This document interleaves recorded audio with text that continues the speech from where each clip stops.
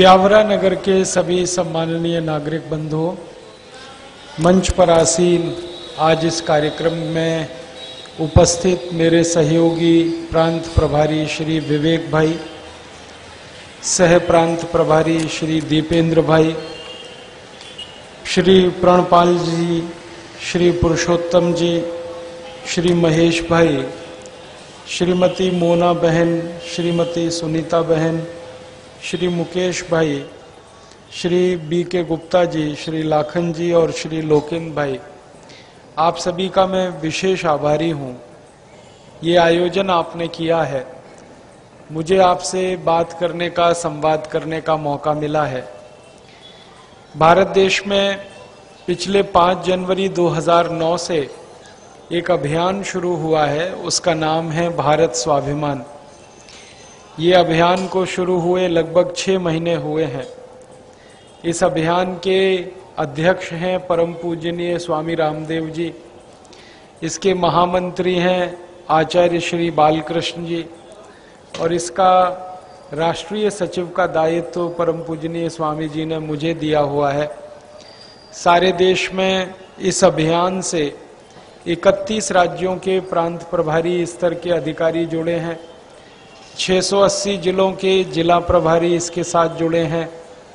इसके अलावा मंडल प्रभारी हैं पूरे देश में।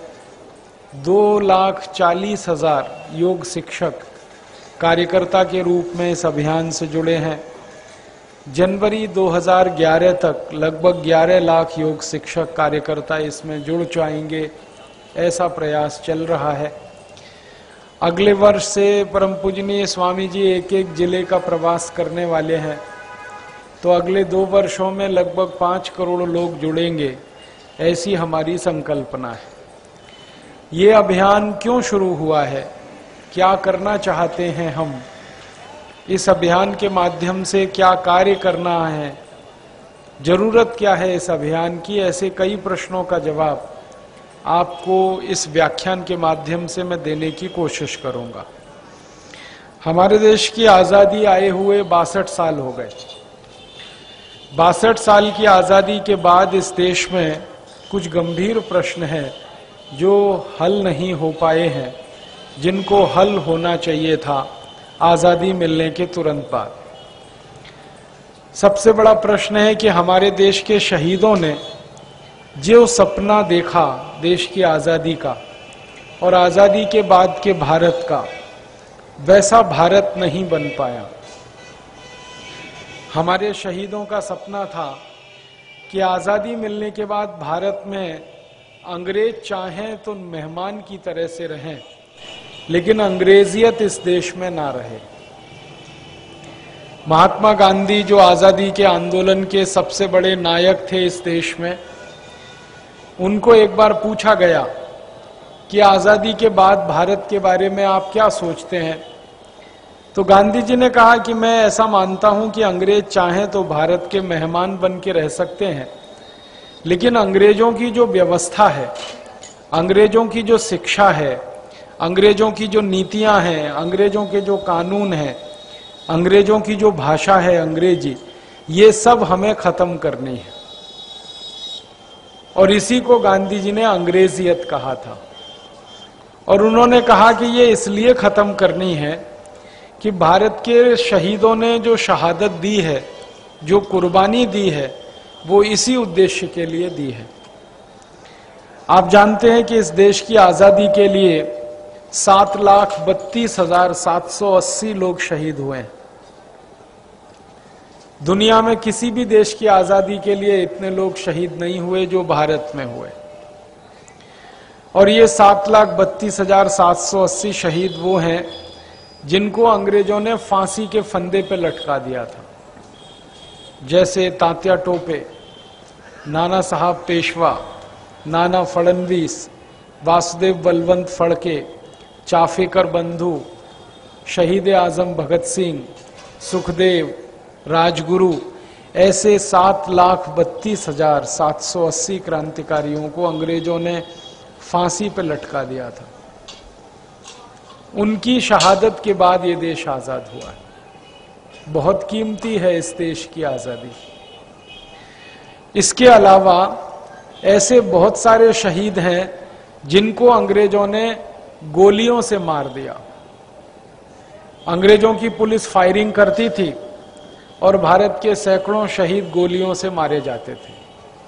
आपको याद है, एक बार इस देश में एक बहुत बड़ा हत्याकांड हुआ था जलियांवाला बाग में। सन 1919 में 13 अप्रैल को अमृतसर के जलियांवाला बाग में अंग्रेज़ों की पुलिस ने अंधाधुंध गोलियाँ चलाई थी। 1800 से ज़्यादा राउंड गोलियाँ चली थी। 1832 राउंड। 1832 राउंड गोलियाँ चलाई गई थी और उसमें 3000 भारतवासी शहीद हो गए थे और हज़ारों भारतवासी उस दुर्घटना में विकलांग हो गए थे। ऐसे हत्याकांड अंग्रेज़ों के जमाने में बहुत हुए। एक ही बार में तीन हज़ार लोग शहीद हुए। कहीं एक ही बार में दो हज़ार, डेढ़ हज़ार। ऐसे जो हत्याकांड अंग्रेज़ों ने किए, इसके अलावा अंग्रेज़ों ने बर्बरता से हमारे क्रांतिकारियों को लाठियों से मारा, पीटा। और कई क्रांतिकारी उसमें शहीद हुए, लाठियाँ खाकर। जैसे लाला लाजपत राय, पंजाब के एक बड़े नेता थे। एक अंग्रेज़ पुलिस अधिकारी सैंडर्स ने उनको सिर पर इतनी लाठियाँ मारी कि उनको ब्रेन हेमरेज हो गया और उनकी मृत्यु हुई। तो अंग्रेज़ों की पुलिस ने लाठियाँ मारी, अंग्रेज़ों की पुलिस ने गोलियाँ चलाई अंग्रेज़ों की सेना में कई बार ऐसा होता था कि भारतीय क्रांतिकारियों को तोप के मुँह से बाँध देते थे और गोला लगाकर उनके शरीर के एक एक चिथड़े को उड़ा देते थे। जिन क्रांतिकारियों को तोप के मुँह से बांधा गया, जिन क्रांतिकारियों को गोलियों से मारा गया, जिन क्रांतिकारियों को लाठियों से अंग्रेज़ों ने खत्म किया, ऐसे क्रांतिकारियों की संख्या साढ़े चार करोड़ है। दुनिया के किसी देश के इतिहास में इतनी बड़ी संख्या में लोग शहीद नहीं हुए, जो भारत में हुए। कई बार अंग्रेज़ क्या किया करते थे? भारत के किसी गाँव में जो क्रांतिकारियों का गढ़ होता था, जैसे अभी मेरे व्याख्यान के पूर्व आप सुन रहे थे, नरसिंहगढ़, ऐसे बहुत स्थान थे भारत में, बिठूर, कानपुर के पास, आपके इलाके में नरसिंहगढ़ उधर हमारे उत्तर भारत में बरेली, शाहजहांपुर जैसे केंद्र, बैरकपुर, कलकत्ता के आसपास तो ऐसे कई स्थान थे जहाँ क्रांतिकारियों का ऑफ़िस होता था, आंदोलन के लोग होते थे, क्रांतिकारियों की संख्या जिस गाँव में ज़्यादा होती थी। तो अंग्रेज़ों की सरकार क्या किया करती थी? उस गाँव को चारों तरफ़ से घेर कर खाने पीने की वस्तुएँ वहाँ जाना बंद करवा देते थे। और खाने पीने का सामान पंद्रह दिन, बीस दिन, महीने भर नहीं आया किसी गाँव में तो लोग फिर भूख से मर जाते थे। अंग्रेज़ों ने कई बार भारत देश में ऐसे हालात पैदा किए कि लाखों लोग भूख से मर गए। अट्ठारह बार इस देश में अंग्रेज़ों ने ऐसी स्थिति पैदा की कि लाखों लोग भूख से मरे। तो अंग्रेज़ों की नीतियों के कारण जो भूख से मरे, अंग्रेज़ों की पुलिस के अत्याचार से जो मरे ऐसे क्रांतिकारियों की संख्या मैंने बताया, साढ़े चार करोड़ है। और ये साढ़े चार करोड़ उस समय की संख्या है, जब भारत की आबादी 20-22 करोड़ के आसपास हुआ करती थी। माने देश की आबादी का 25 प्रतिशत हिस्सा अंग्रेज़ों की दुर्नीतियों का, अंग्रेज़ों की निरंकुशता का, अंग्रेज़ों के अत्याचार का शिकार हुई है। सात लाख बत्तीस हज़ार सात सौ अस्सी क्रांतिकारी तो सीधे शहीद हुए, जिनको प्रत्यक्ष रूप से हम जानते हैं। उसके अलावा परोक्ष रूप से हुए। तो इतनी बड़ी संख्या में शहादत देकर ये देश आज़ाद हुआ है। कोई देश की आज़ादी इतनी कीमती नहीं होगी जितनी भारत की इस देश की आज़ादी की कीमत अगर आपको जाननी हो, समझनी हो तो उन क्रांतिकारियों के परिवार के लोगों से पूछिए जाकर, जिन्होंने किसी न किसी को खोया है इस आज़ादी की लड़ाई में।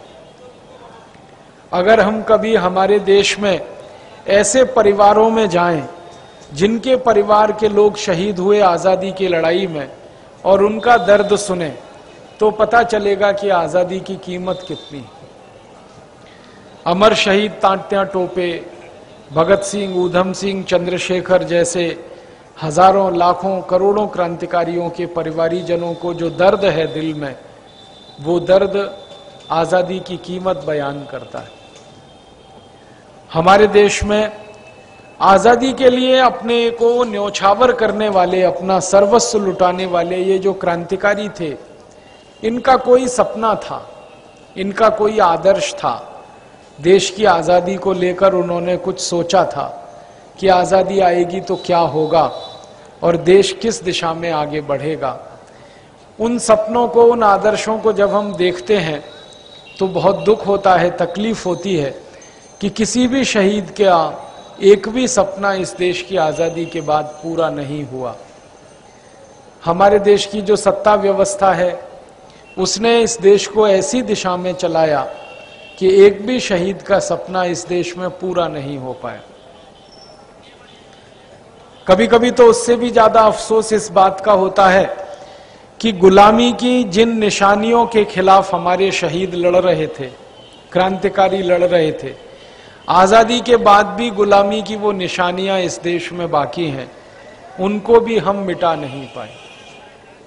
जैसे अपने देश के क्रांतिकारियों ने अंग्रेज़ों की पुलिस के खिलाफ जितने भी संघर्ष किए, वो सारे संघर्ष में जो क्रांतिकारी शहीद हुए तो वो पुलिस के अत्याचार का दुष्परिणाम था। और पुलिस का अत्याचार जो होता था, वो एक कानून के आधार पर होता था। उस कानून का नाम है इंडियन पुलिस एक्ट। ये इंडियन पुलिस एक्ट नाम का कानून अंग्रेज़ों ने बनाया था 1860 में। अठारह में जब क्रांति हुई इस देश में तो उस समय अंग्रेज़ों की हालत खराब हुई थी। पूरे देश के साढ़े तीन सौ स्थानों पर अंग्रेज़ों के खिलाफ बगावत हुई थी और अंग्रेज़ उसमें हार गए थे। अठारह की क्रांति के जो दस्तावेज़ इस देश में हैं, वो ये बताते हैं कि अंग्रेज़ों की उसमें हार हुई थी, पराजय हुई थी। 10 मई अठारह से क्रांति की शुरुआत हुई मेरठ में और 1 सितंबर अठारह तक इस देश में एक भी अंग्रेज़ जीवित नहीं बचा था। भारत के क्रांतिकारियों ने तीन लाख चौसठ हज़ार अंग्रेज़ों का कत्लेआम कर दिया था, मार डाला था। हमारे देश के साधारण लोगों ने घास काटने वाले हसीए से अंग्रेज़ों के सिर काट दिए थे। पशुओं को चारा काटने वाला जो गणासा होता है, उससे अंग्रेज़ों के सिर काटे थे। भाला, तलवार, तीर, कमान, लाठियाँ, इन शस्त्रों का, अस्त्रों का उपयोग करके भारतवासियों ने अंग्रेज़ों को मार डाला था। इतना गुस्सा भारत के लोगों में पैदा हुआ था अठारह इस अठारह की क्रांति में करोड़ों भारतवासियों ने अंग्रेज़ों का मुकाबला किया था और अंग्रेज़ मारे गए थे इसमें। अंग्रेज़ जब हारे तो हिंदुस्तान से ईस्ट इंडिया कंपनी का शासन समाप्त हो गया था। कई भारत के राज्य अंग्रेज़ों की गुलामी से आज़ाद हो गए थे। उस जमाने में भारत में पाँच राज्य होते थे। अभी जैसे 31 राज्य हैं, उस समय पाँच राज्य हुआ करते थे इस समय भारत का जो एक एक जिला है, वो उस समय एक एक राज्य की हैसियत का हुआ करता था। भोपाल एक राज्य था, नरसिंहगढ़ एक राज्य था, इसी तरह से हमारे देश में उज्जैन एक राज्य था, इसी तरह से रतलाम एक राज्य की हैसियत का था। हमारे देश में एक एक जिला जो आज है, अठारह सौ सत्तावन में एक एक राज्य था। ऐसे सभी राज्य जिनकी संख्या पाँच वो गुलामी से आज़ाद हो गए थे। अंग्रेज़ों का शासन खत्म हो गया था, क्योंकि अंग्रेज़ मारे गए थे, एक भी अंग्रेज़ ज़िंदा नहीं बचा था। तो अंग्रेज़ों की संसद में एक बहस हुई थी, और बहस इस बात की हुई थी कि दोबारा भारत पर कब्जा कैसे किया जाए। एक बार तो हार गए अंग्रेज़, दोबारा वो आना चाहते थे इस देश। कारण क्या था? भारत में धन और संपत्ति उन्हें लूटना था, जो बहुत अधिक मात्रा में था। और इंग्लैंड उस समय दुनिया का सबसे गरीब देश था। जब अंग्रेज़ सबसे पहली बार इस भारत में आए थे तो इंग्लैंड में भूखमरी की हालत थी। और इंग्लैंड का इतिहास जब मैंने पढ़ा तो पता चला कि पंद्रहवीं शताब्दी में इंग्लैंड में साढ़े तीन करोड़ लोग भूख से मर गए थे। जो इंग्लैंड की आबादी का 50 प्रतिशत। इतने बड़े पैमाने पर किसी देश में भूख से लोग मरे हों तो स्पष्ट है कि वहाँ गरीबी बहुत होगी, बेरोजगारी बहुत होगी। तो इंग्लैंड में बहुत गरीबी थी, बहुत बेरोजगारी थी। आपको सुन के हैरानी होगी, जब ईस्ट इंडिया कंपनी भारत आई थी तो इंग्लैंड के अधिकांश लोगों के पास पहनने को कपड़े नहीं थे। वो पशुओं को मारकर उसकी छाल लपेट कर रहा करते थे।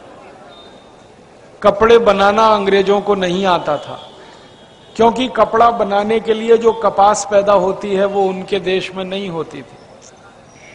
तो कपड़े पहनने के लिए नहीं थे, खाने को रोटी नहीं थी। इंग्लैंड के खेतों में कुछ उत्पादन नहीं होता था, क्योंकि वहाँ साल में छह से आठ महीने बर्फ़ पड़ती है और खेतों में बर्फ़ जमी रहती है। तो घास का तिनका भी नहीं उग सकता। तो खेती नहीं होती थी, उत्पादन कुछ नहीं था। जंगलों के जानवरों को मार के उनका मांस खा के उनकी ज़िंदगी गुजारते थे अंग्रेज़। और खर्च के लिए थोड़े पैसे की ज़रूरत है, धन संपत्ति की ज़रूरत है तो कारखाने उनके यहाँ थे नहीं, उद्योग धंधे चलते नहीं थे। क्योंकि कारखाने और उद्योग उसी देश में चल सकते हैं जिस देश में कारखाना चलाने के लिए कच्चा माल पैदा होता हो। अगर मान लीजिए आपको कपड़ा बनाने का कारखाना चलाना है तो सूत तो होना चाहिए, तभी तो कपड़ा बनेगा। और सूत होने के लिए कपास होनी चाहिए। कपास होने के लिए खेती होनी चाहिए। खेती होने के लिए मिट्टी होनी चाहिए, ज़मीन होनी चाहिए। पत्थर में खेती नहीं होती है, मिट्टी में होती है। अब इंग्लैंड देश का जो खेत है, वहाँ पत्थर ही पत्थर है, मिट्टी तो बहुत कम है। और जहाँ मिट्टी है, वहाँ बर्फ़ पड़ी रहती है। साल में छह छह महीने बर्फ़ जमी रहती है। तो कुछ उगता नहीं उनके देश में ज़्यादा। तो खेती नहीं है तो उद्योग नहीं थे। उद्योग नहीं तो व्यापार नहीं हो सकता। और उद्योग व्यापार नहीं तो आमंदनी का ज़रिया नहीं है कोई। तो अंग्रेज़ों की आमंदनी किस बात से होती थी? आपको सुन के हैरानी होगी, एक हज़ार साल अंग्रेज़ों की आमंदनी का मुख्य रास्ता था लूटपाट करना। अंग्रेज़ों के नागरिक छोटे छोटे समूह बनाते थे, जिसको वो कंपनी कहा करते थे, वो कंपनी लूटपाट किया करती थी। अंग्रेज़ों के देश के नज़दीक से समुद्र गुजरता है, उस समुद्र में पानी के जहाज़ आते जाते थे व्यापार करने के लिए। उन जहाजों को लूटने का काम अंग्रेज़ किया करते और उस लूट के पैसे से उनकी ज़िंदगी चला करती थी। ये लूटपाट करने वाली जो कंपनियाँ थी, उन्हीं में से एक थी, उसका नाम था ईस्ट इंडिया, जिसको लूटखोर अंग्रेज़ों ने बनाया था। ईस्ट इंडिया कंपनी का जो मैनेजमेंट था, आज की भाषा में कहें, बोर्ड ऑफ़ डायरेक्टर्स उसमें सारे लुटेरे और चोर लोग ही थे। बड़े बड़े लुटेरे, जिनको आजकल हम हिंदुस्तान में कहते हैं ना माफिया लोग। तो माफिया लोगों ने मिलके ईस्ट इंडिया कंपनी बनाई थी। कोई अच्छे लोगों की कंपनी नहीं थी वो, भले लोगों की कंपनी नहीं थी। लूटखोर लोगों ने, डकैतों ने, चोरों ने मिलकर एक कंपनी स्थापित कर ली थी ईस्ट इंडिया। और इंग्लैंड के राजा के साथ उन्होंने एक समझौता किया था। इंग्लैंड के राजा को यह कहा कि हमको एक चिट्ठी लिख दो आप। और चिट्ठी में यह लिख दो कि ये कंपनी इंग्लैंड की अधिकृत कंपनी है तो बदले में हम जो भी लूटेंगे, उसका एक बड़ा हिस्सा आपको दे देंगे। इंग्लैंड का राजा भी गरीब था, उसको भी पैसे चाहिए तो उसने एक चिट्ठी लिख के दे दी उसको ईस्ट इंडिया कंपनी कहती थी, ये हमारा अथॉरिटी लेटर है। लूटने का लाइसेंस है ये। तो वो चिट्ठी लेके निकले और भारत में घुस गए, क्योंकि भारत में उनको मालूम था कि धन और बहुत है, संपत्ति बहुत है। भारत में कई बार अंग्रेज़ आके जा चुके थे शुरू में। फ्रांसीसी आए थे यहाँ, डच लोग आए थे, पुर्तगाली लोग आए थे। और सबने भारत के बारे में एक ही बात कही थी कि सोने की चिड़िया है। बहुत धन है इस देश में, बहुत संपत्ति है इस देश में। तो अंग्रेज़ों को यह मालूम हो गया कि धन संपत्ति बहुत है, इसलिए वो इस देश में घुसे। यहाँ के एक राजा से उन्होंने लाइसेंस ले लिया। उस राजा का नाम था जहांगीर, और उसने भी लाइसेंस दे दिया। और उस लाइसेंस के आधार पर अंग्रेज़ों ने लूटमार करना शुरू किया। सबसे पहले सूरत में लूटमार की उन्होंने, गुजरात फिर सूरत के आसपास नवसारी, बड़ोदरा में की। धीरे धीरे लूटमार बढ़ती गई, पूरे गुजरात में फैल गई। फिर भारत के अलग अलग स्थानों में फैल गई। और अंग्रेज़ों को लूटमार में इतना धन मिलने लगा कि उनके मन में लालच आ गया कि इस भारत में इतना धन है, इतनी संपत्ति है तो यहाँ परमानेंट कब्जा कर लो। और जब उनके मन में ये लालच आ गया कि यहाँ कब्जा कर लेना है, हमेशा यहाँ पर अपनी सरकार बना के लूट मार करनी है, तब उन्होंने ईस्ट इंडिया कंपनी की सरकार बनाई इस देश में। पहले ईस्ट इंडिया कंपनी आई, लूट मार करने, फिर उसकी सरकार बनी, फिर ईस्ट इंडिया कंपनी की सरकार सौ साल तक चली। सौ साल खूब लूटा उन्होंने फिर उसके बाद अंग्रेज़ों ने कहा कि अब अंग्रेज़ों की संसद की सरकार बनाओ इस देश में। तो अगले सौ साल के लिए फिर संसद की सरकार चली। तो सौ साल ईस्ट इंडिया कंपनी की सरकार, सौ साल अंग्रेज़ों की संसद की सरकार और उसके पहले की लूटमार। कुल मिलाकर ढाई सौ साल उन्होंने इस देश को लूटा और धन संपत्ति सारा ले जाकर लंदन में जमा किया। अंग्रेज़ों ने जो लूटा इस देश को तब उनकी हालत थोड़ी सुधरना शुरू हुई और उनकी गरीबी दूर हुई। अंग्रेज़ों के इतिहासकार ये बात कहते हैं कि अगर उन्होंने भारत में आकर लूटमार नहीं की होती तो इंग्लैंड देश तो भूख से ही मर गया होता। भारत आए, धन संपत्ति लूटा, पैसे इकट्ठे हुए, तब इंग्लैंड ज़िंदा रहा। और इंग्लैंड में एक औद्योगिक क्रांति हुई, जिसको आप इतिहास में पढ़ते हैं। उस औद्योगिक क्रांति का सारा पैसा भारत की लूट से गया। कितना लूटा इन अंग्रेज़ों ने भारत को? एक उदाहरण देता हूँ आपको। एक अंग्रेज़ था इस देश में, उसका नाम था रॉबर्ट क्लाइव। बचपन में आपने इतिहास की किताब पढ़ी होगी तो रॉबर्ट क्लाइव का नाम आपने ज़रूर सुना होगा। प्लासी का एक युद्ध हुआ इस देश में सत्रह में। रॉबर्ट क्लाइव उस प्लासी के युद्ध को लड़ने के लिए आया था और उसने प्लासी के युद्ध में सिराजुद्दौला की सेना को हराया था। ऐसा इतिहास में लिखा गया है। दस्तावेज़ कुछ दूसरी बात बताते हैं। कोई किसी को युद्ध में कब हरा सकता है? जब युद्ध हो दस्तावेज़ बताते हैं कि प्लासी के मैदान में तो युद्ध हुआ ही नहीं। तो फिर कैसे हरा दिया उसने? प्लासी के मैदान में युद्ध नहीं हुआ, समझौता हुआ। अंग्रेज़ों का जो रॉबर्ट क्लाइव था, उसने सिराजुद्दौला के सेनापति मीर जाफ़र से एक समझौता किया। समझौता यह था कि मीर जाफ़र युद्ध नहीं लड़ेगा, अपनी पूरी सेना के साथ अंग्रेज़ों के सामने आत्मसमर्पण करेगा। किस खुशी में? अंग्रेज़ों ने मीर जाफ़र को वायदा किया था कि तुम अगर आत्मसमर्पण कर दोगे, बिना युद्ध लड़े तो हम तुमको बंगाल का राजा बना देंगे। मीर जाफ़र उस समय बंगाल का रक्षा मंत्री था और वो प्रधानमंत्री बनना चाहता था। अंग्रेज़ों ने उसको वायदा कर दिया कि तुमको प्रधानमंत्री बना देंगे। तुम हमारे साथ समझौता कर लो, युद्ध मत लड़ो, अपनी सेना के साथ आत्मसमर्पण कर दो। मीर जाफ़र बहुत लालची आदमी था कुर्सी का, और लालच था उसको पैसे का।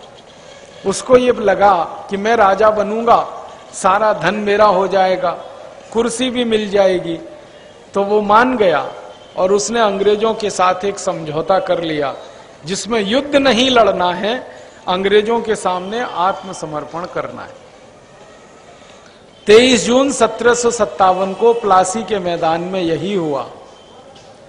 सिराजुद्दौला की फौज का सेनापति मीर जाफ़र अठारह हज़ार सैनिकों के साथ आत्मसमर्पण कर दिया। अंग्रेज़ों ने उनको बंदी बना लिया और घोषणा कर दी कि हमने युद्ध जीत लिया। युद्ध तो हुआ ही नहीं, वहाँ तो आत्मसमर्पण हुआ।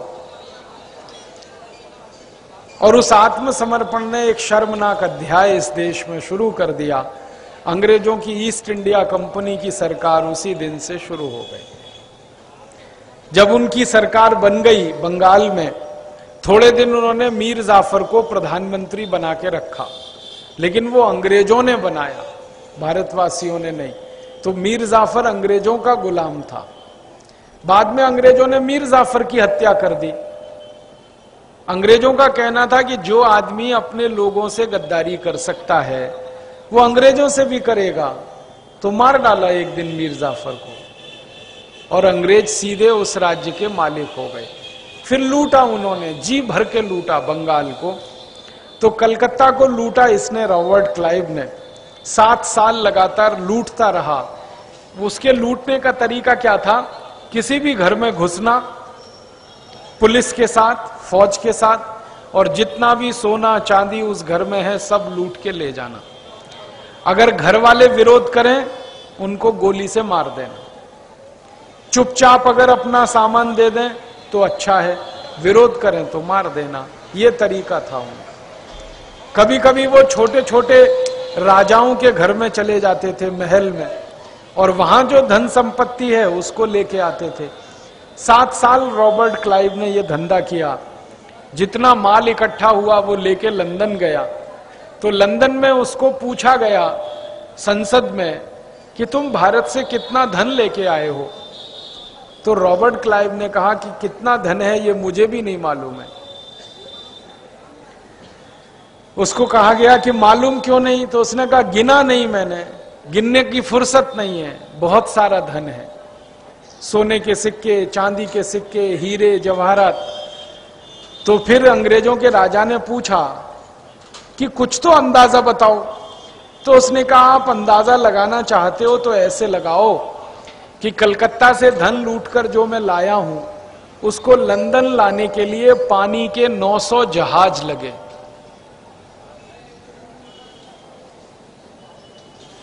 एक पानी के जहाज़ में उस समय 70 मीट्रिक टन माल आता था। और एक मीट्रिक टन में हज़ार किलोग्राम होते हैं। माने एक पानी के जहाज़ में सत्तर हज़ार किलोग्राम सामान आता था। ऐसे 900 जहाज़ भर के, सोने के सिक्के, चांदी के सिक्के, हीरे जवाहरात, मोती, पन्ना, माणिक, ये एक अंग्रेज़ लूट के ले गया जिसका नाम था रॉबर्ट क्लाइव। उससे कहा गया कि तुम इस धन का मूल्य निकालो। कितना मूल्य है? तो रॉबर्ट क्लाइव ने ब्रिटिश पार्लियामेंट में जवाब दिया था कि जितना धन मैं लाया हूँ, वो लगभग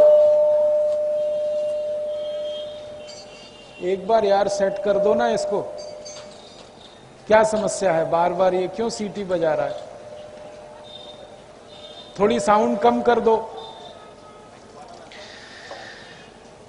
रॉबर्ट क्लाइव को जब पूछा गया ब्रिटिश पार्लियामेंट में कि इसका अंदाज़ा बताओ, ये धन है कितना तो उसने संख्या जो बताई वो मैं आपको बताता हूँ। उसने कहा कि one thousand million sterling pound one thousand माने एक हज़ार मिलियन का माने दस लाख।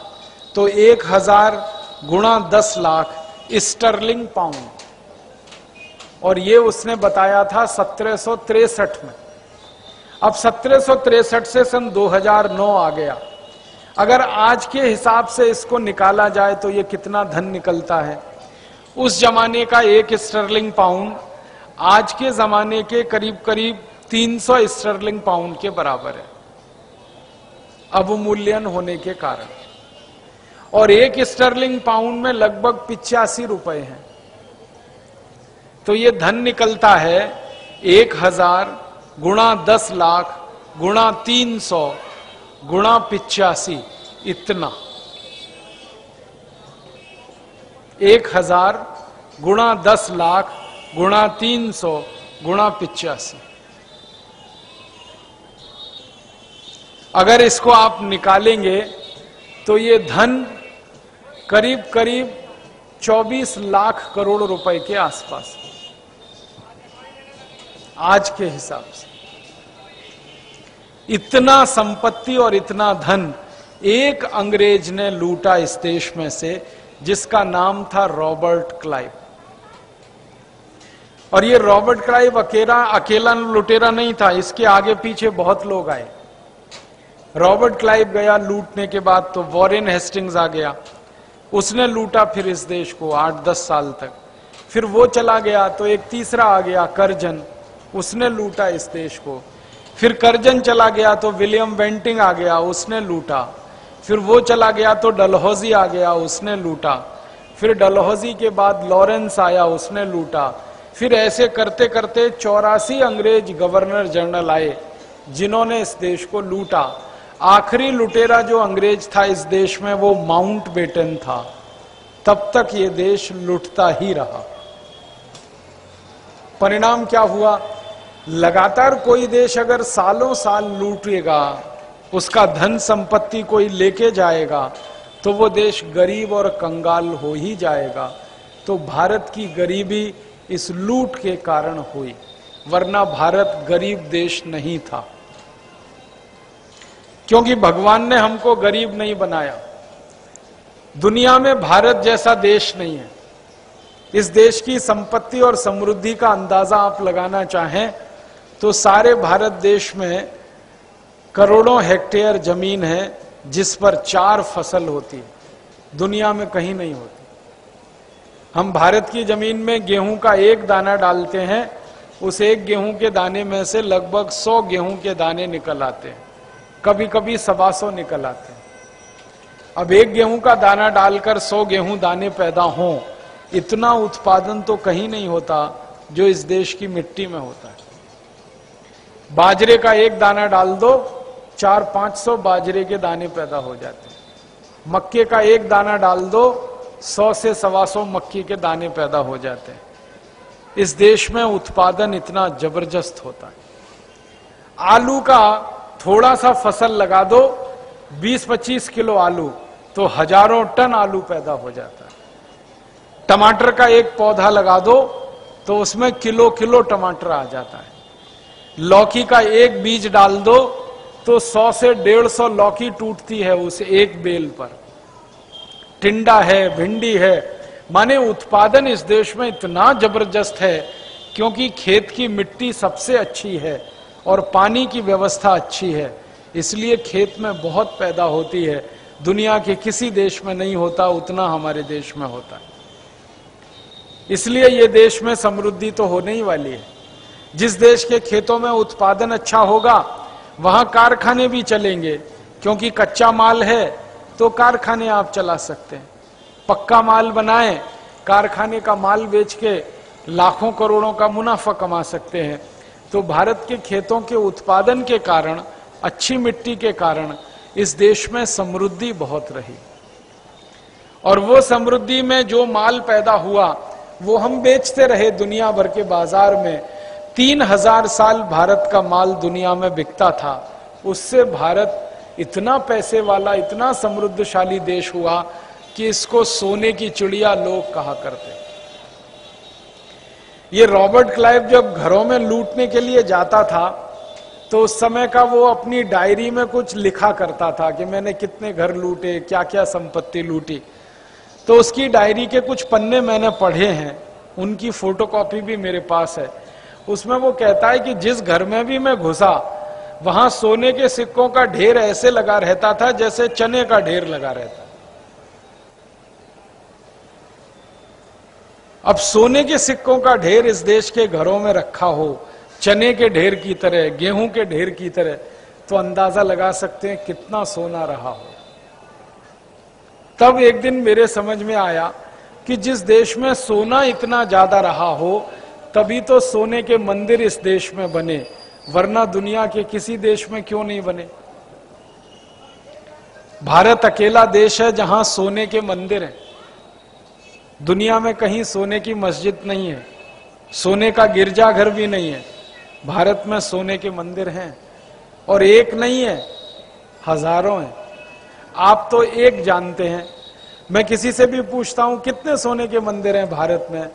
तो वो कहता है, अमृतसर का स्वर्ण मंदिर। फिर दूसरा, याद ही नहीं किसी को, मालूम ही नहीं। मैंने एक बार अंग्रेज़ों के जो दस्तावेज़ हैं, उसमें से निकाल निकाल के सूची बनाई, तेरह हज़ार सात सौ अस्सी सोने के मंदिर हैं इस अमृतसर का स्वर्ण मंदिर एक है। ऐसे ही गुरुवायूर का स्वर्ण मंदिर है। ऐसे ही हमारे देश में तमिलनाडु के तंजावुरम में सोने का मंदिर है। हमारे देश में तिरुपति बालाजी सोने का मंदिर है। हमारे देश में वैष्णो देवी सोने का मंदिर है। ऐसे तेरह हज़ार सात सौ अस्सी सोने के मंदिर। एक सोने का मंदिर तो इस देश का इतना ज़बरदस्त रहा सोमनाथ का कि उस एक मंदिर को लूटने के लिए सत्रह साल एक विदेशी आता रहा, महमूद गजनबी तो भी पूरे मंदिर को लूट नहीं पाया। महमूद गजनवी ने सोमनाथ का मंदिर सत्रह बार लूटा था। फिर भी धन संपत्ति बचा रह गया। उसको लूटने के लिए अठारहवीं बार फिर आया। रास्ते में मर गया, इसलिए लूट नहीं पाया, वरना फिर लूटता। एक ही मंदिर को लूटने में सत्रह साल लग गए उसको। ऐसे अद्भुत स्वर्ण मंदिर इस देश में। अब मैंने एक दिन सोचा कि किसी देश में सोने के मंदिर कब बनाए जाएँगे।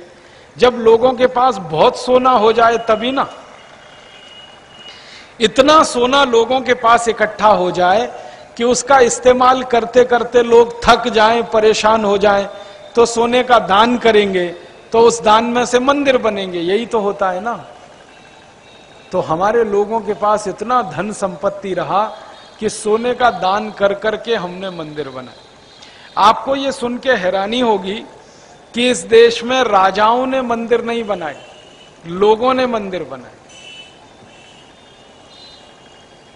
राजाओं के मंदिर नहीं है इस देश में, लोगों के बनाए हुए मंदिर। राजाओं ने तो बस इतना किया था कि लोगों ने जो पैसा दान दिया, वो राजाओं ने अपने कोष में सुरक्षित इकट्ठा रखा और मंदिर बनवा दिया। पैसे राजाओं ने नहीं दिए मंदिर बनाने के पैसे जनता के थे सारे।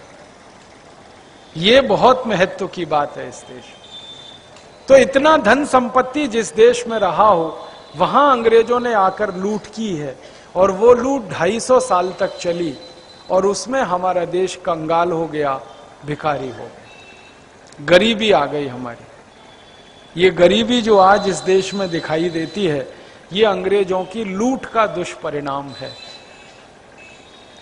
जब भी किसी देश की सैकड़ों सैकड़ों साल तक लूट होगी, वो देश गरीब और गरीब और गरीब ही होता चला जाएगा। मैं एक अंग्रेज़ की आपको कहानी सुनाता हूँ, उसका नाम था मैकॉले। टीवी मैकॉले, वो भारत आया, सत्रह साल भारत में रहा, उत्तर, दक्षिण पूर्व पश्चिम, सब जगह गया। भारत में उसने जब प्रवास किया, उसने घूमा फिर लौट के लंदन गया। लंदन की पार्लियामेंट में 2 फरवरी 1835 को उसने एक भाषण दिया। बहुत जोरदार भाषण है उसका। जैसे अपने नेता लोकसभा में भाषण देते हैं, ऐसे ही वहाँ होता है लंदन। तो मैकॉले भाषण दे रहा है और क्या कह रहा है मैं सुनाता हूँ आपको। अंग्रेज़ी में ही सुनाता हूँ, फिर हिंदी करूँगा उसका। वो कहता है I have travelled length and breadth of this country India and I have not seen a single beggar in this country India वो कहता है, मैं भारत में उत्तर, दक्षिण, पूरब, पश्चिम सब जगह घूमा। सत्रह साल घूमा वो इस देश में। और कहता है, मेरे सत्रह साल के भारत के प्रवास में मैंने कभी एक भिखारी को भीख मांगते भारत में नहीं देखा।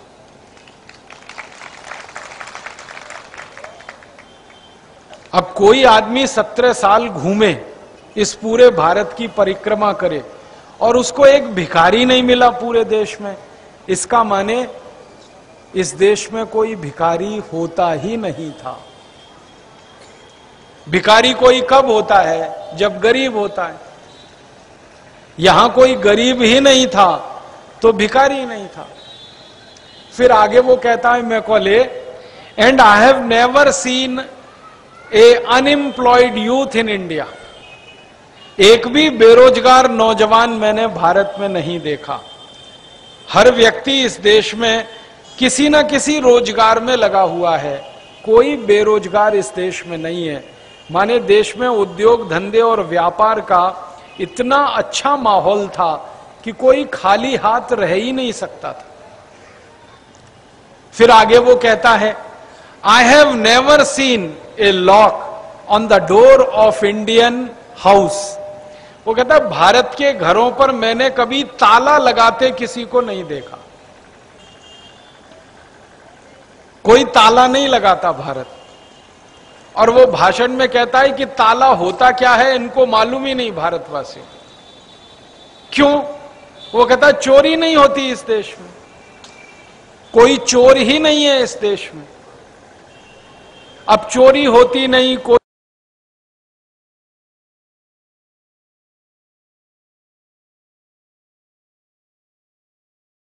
फिर आगे कहता है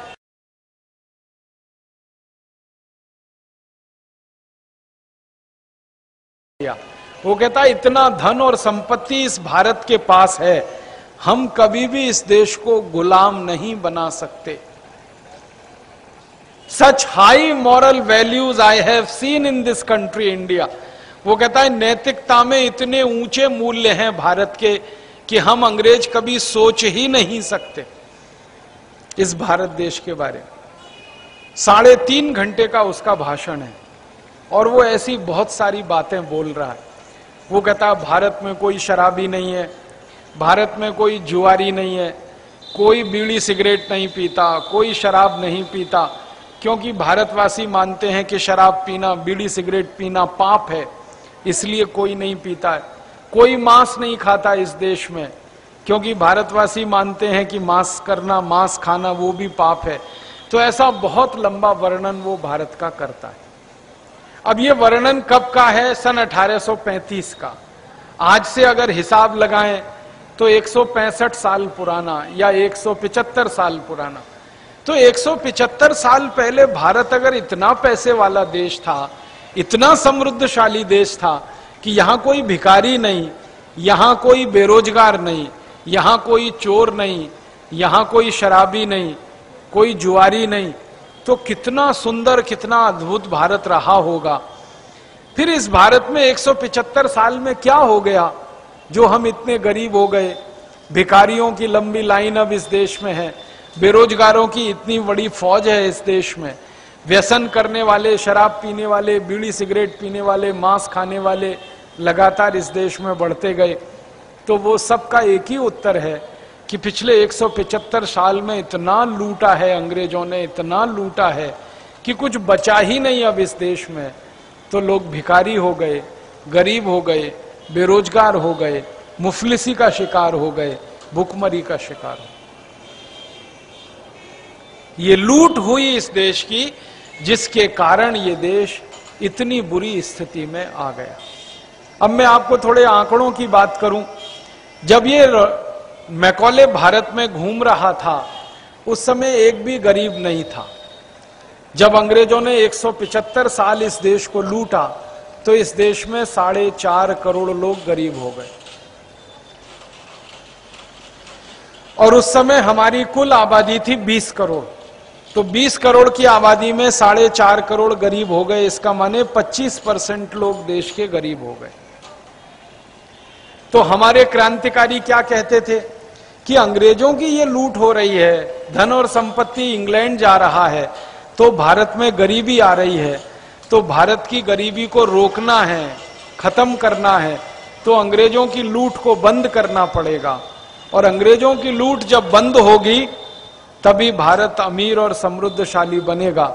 तो क्रांतिकारियों ने अंग्रेज़ों के खिलाफ फिर आंदोलन किया। और उस आंदोलन में सफलता मिली। 15 अगस्त 1947 को अंग्रेज़ भारत से चले गए। तो हमारे क्रांतिकारियों ने बलिदान किए, अपना जीवन लगाया, सारा तन मन धन देश के लिए न्यौछावर किया। तो अंग्रेज़ भारत से चले गए, देश की लूट बंद हो जाएगी। क्रांतिकारियों ने ऐसा सपना देखा। अब मुझे आज की कहानी आपसे कहनी है, ये तो भूतकाल हो गया भारत का। वर्तमान में देश का क्या हाल है, इसको जरा देखा जाए, समझा जाए। तो वर्तमान की स्थिति यह है कि जब अंग्रेज़ भारत से गए थे तो साढ़े चार करोड़ गरीबों को छोड़कर गए थे इस देश में।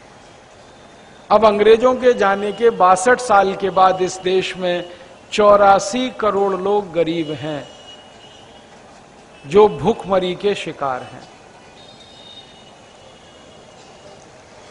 हमारे देश की जो सरकार है ना, दिल्ली से जो चलती है, जिसको केंद्र सरकार कहते हैं, इस केंद्र सरकार ने अभी थोड़े दिन पहले एक बहुत बड़े अर्थशास्त्री व्यक्ति को इस बात के लिए ज़िम्मेदारी दी थी कि भारत में गरीबों के बारे में अध्ययन करो, अभ्यास करो और सरकार को बताओ कि कितने गरीब हैं। इस देश के जो अर्थशास्त्री ने ये काम किया, उनका नाम है अर्जुन सेन गुप्ता। बंगाल के रहने वाले हैं, बहुत बड़े विद्वान इन्होंने पाँच साल अध्ययन किया। अध्ययन करके एक रिपोर्ट बनाई। उस रिपोर्ट का नाम है अर्जुन सेन गुप्ता कमीशन रिपोर्ट। वो रिपोर्ट जब संसद में पेश की गई तो मेरे जैसे आदमी को भी मिल गई पढ़ने को। मेरे कुछ मित्र हैं जो सांसद हैं, उनसे मैंने कहा, रिपोर्ट मुझे भी दे दो, पढ़नी है। तो मैंने जब वो रिपोर्ट पढ़ी तो मुझे धक्का लगा कि उस रिपोर्ट में लिखा हुआ है कि भारत में गरीबों की संख्या अब चौरासी करोड़ हो गई है।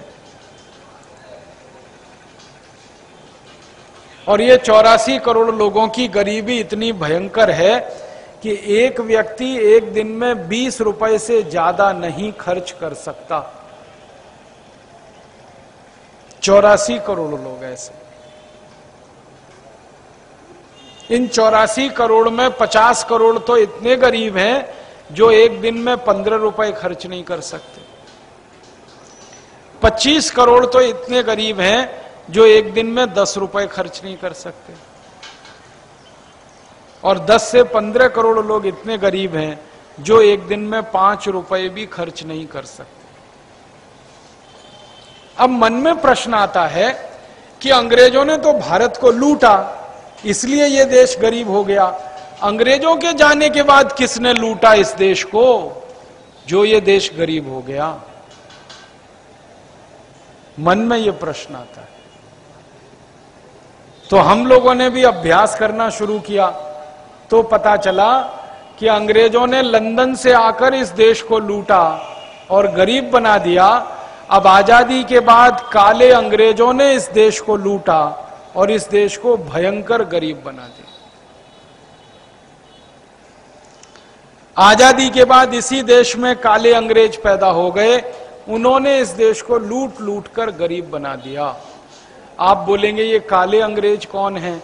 ये सब वो काले अंग्रेज़ हैं जिनको आप नेता कहते हैं इस देश का।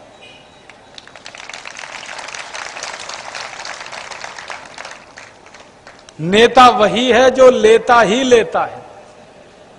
देता कभी कुछ नहीं।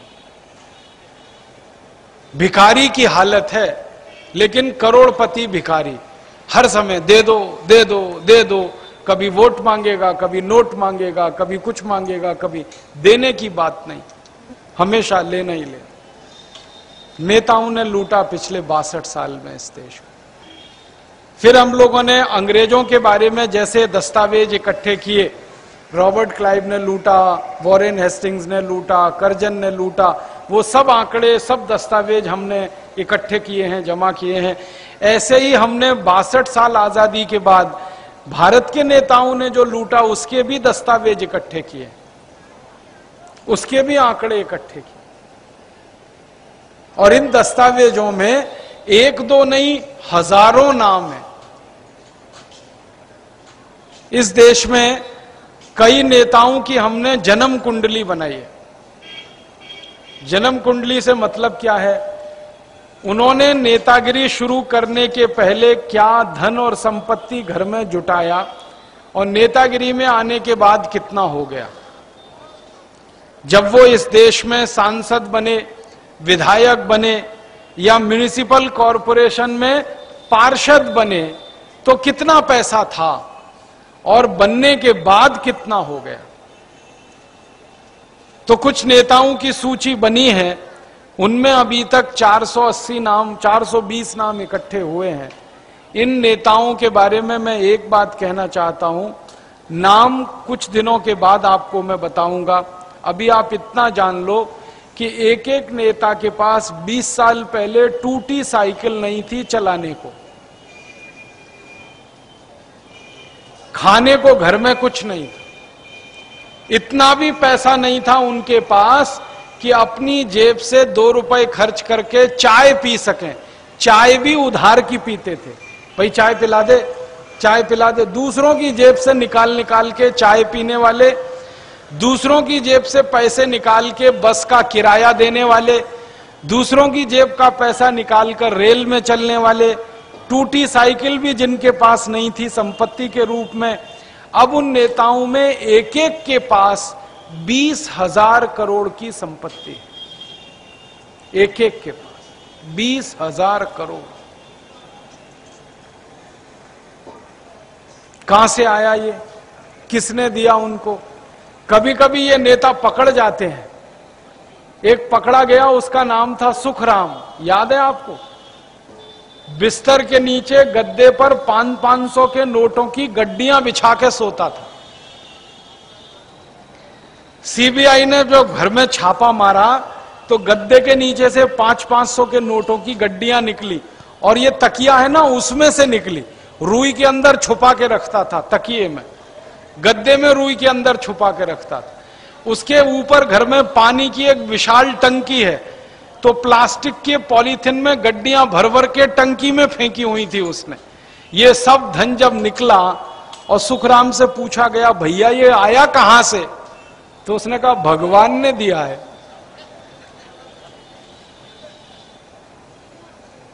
सीबीआई अधिकारी ने कहा, भगवान भी बड़ा बेईमान है, जो तुझको ही देता है, ना मुझे देता है, ना इसको देता है, ना इनको देता है। फिर उसने दूसरा बयान बदला। उसने कहा, ये मेरी पार्टी का पैसा है। पार्टी वालों ने कहा, ये हमारा नहीं है। तो फिर तीसरा बयान बदला और वो बयान ये था कि ये मेरा पैसा है। तो तुम्हारे पास कहाँ से आया? तो घूस से, भ्रष्टाचार से, रिश्वतखोरी से, इसी में से आएगा और कहाँ से आएगा? तो अब आज़ादी के बासठ साल में हमारे नेता लूट रहे हैं इस देश को घूस के माध्यम से, भ्रष्टाचार के माध्यम से, रिश्वतखोरी से और लूट लूट के अपने घर भर रहे हैं। ऐसे इस देश में हज़ारों नेता हैं जिन्होंने बासठ साल इस देश को लूट लूट कर इतना गरीब बना दिया है कि अंग्रेज़ गए थे तो साढ़े चार करोड़ गरीब थे। अब अंग्रेज़ों के बाद इस देश में चौरासी करोड़ लोग गरीब हो गए। गरीबी बढ़ने का एक ही कारण होता है लूट लूट और लूट। आप बोलेंगे गरीबी बढ़ने का शायद यह भी कारण होता है जनसंख्या बढ़ गई। जनसंख्या तो दुनिया में बहुत देशों की बढ़ गई। वो गरीब क्यों नहीं हुए? हम कहते हैं ना, जनसंख्या बढ़ने से हमारे देश में गरीबी बढ़ गई। तो जनसंख्या तो पिछले 50 साल में दुनिया के 200 देशों की बढ़ गई। वो तो गरीब नहीं हो रहे।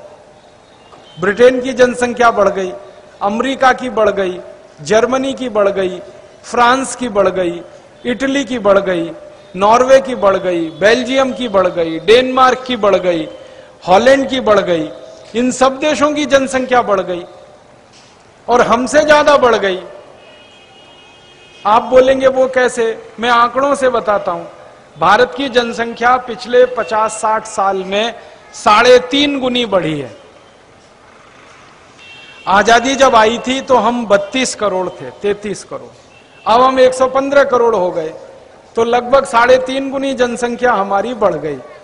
और अमेरिका की जनसंख्या तो पाँच गुनी बढ़ गई, जर्मनी की साढ़े चार गुनी बढ़ गई, फ्रांस की जनसंख्या साढ़े तीन से चार गुनी बढ़ गई, ब्रिटेन की जनसंख्या पाँच गुनी बढ़ गई।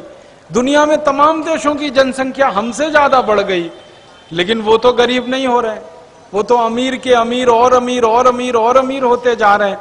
तो हमारे ही देश में जनसंख्या बढ़ने से गरीबी क्यों आएगी? अगर जनसंख्या बढ़ने से गरीबी आएगी तो सारी दुनिया में आनी चाहिए। सिद्धांत अगर एक है तो वो अमेरिका के लिए, भारत के लिए एक ही होना चाहिए। उनके यहाँ तो जनसंख्या बढ़ने से गरीबी नहीं बढ़ रही है, क्योंकि उनके यहाँ लूट नहीं होती है। स्पेन नाम का एक देश है दुनिया में, वहाँ की जनसंख्या हमारी तुलना में दस गुनी बढ़ गई पचास साल में। लेकिन स्पेन दुनिया का सबसे अमीर देश है इस समय, क्योंकि वहाँ करप्शन नहीं है, भ्रष्टाचार नहीं है, घूसखोरी नहीं है, रिश्वतखोरी नहीं है। वहाँ के नेता लूट नहीं सकते, क्योंकि वहाँ बहुत सख्त कानून है। इसलिए वहाँ अमीरी बढ़ रही है। तो भारत में लूटखोरी है, रिश्वतखोरी है, हरामखोरी है, इसलिए यहाँ गरीबी बढ़ रही है। और जनसंख्या बढ़ने की बात अगर सच होती तो और एक उदाहरण देता हूँ। साढ़े तीन गुनी जनसंख्या बढ़ी तो गरीबी भी साढ़े तीन गुनी बढ़नी चाहिए, ज़्यादा से ज़्यादा। तो हम उस समय साढ़े चार करोड़ थे, अब पंद्रह करोड़ हो जाने चाहिए थे गरीब। चौरासी करोड़ कहाँ से हो गए? इसका जवाब नहीं है नेताओं के पास। ये इसलिए हो गए कि लाखों करोड़ों रुपए हर साल लूट लेते हैं इस देश का। आपको याद है, इस देश में एक प्रधानमंत्री थे, उनका नाम राजीव गांधी। उन्होंने संसद में कहा था ये कि जब मैं गरीब आदमी के विकास के लिए दिल्ली से एक रुपया भेजता हूँ तो उस गरीब आदमी के पास पंद्रह पैसा ही पहुँचता है। इसका मतलब पिचासी पैसे की लूट होती है। एक रुपए में अगर पिचासी पैसे की लूट होती है, इसका माने हमारे पिचासी प्रतिशत संसाधनों की लूट होती है। और ये राजीव गांधी ने उन्नीस सौ चौरासी में कहा, किसी नेता माई के लाल में दम नहीं थी जो राजीव गांधी के कहे हुए को गलत सिद्ध करे। किसी ने गलत नहीं कहा। और फिर राजीव गांधी के बाद कितने प्रधानमंत्री आए इस देश में? वीपी सिंह आए, चंद्रशेखर आए, नरसिम्हा राव आए इंद्र कुमार गुजराल आए देवे गौड़ा आए, अटल बिहारी वाजपेयी आए और अब मनमोहन सिंह आए। सब प्रधानमंत्रियों को यह सवाल पूछा गया पत्रकारों के द्वारा अनेक अनेक समय पर कि राजीव गांधी की बात से आप सहमत हैं? तो सारे प्रधानमंत्री कहते हैं, हाँ, सहमत हैं। अभी के प्रधानमंत्री तो कहते हैं कि राजीव गांधी के समय में एक रुपया भेजा जाता था तो पंद्रह पैसा पहुँचता था। अब तो 2009 में एक रुपए में दस पैसा भी नहीं पहुँचता। अब तो नब्बे पैसे की लूट हो रही है इस देश में।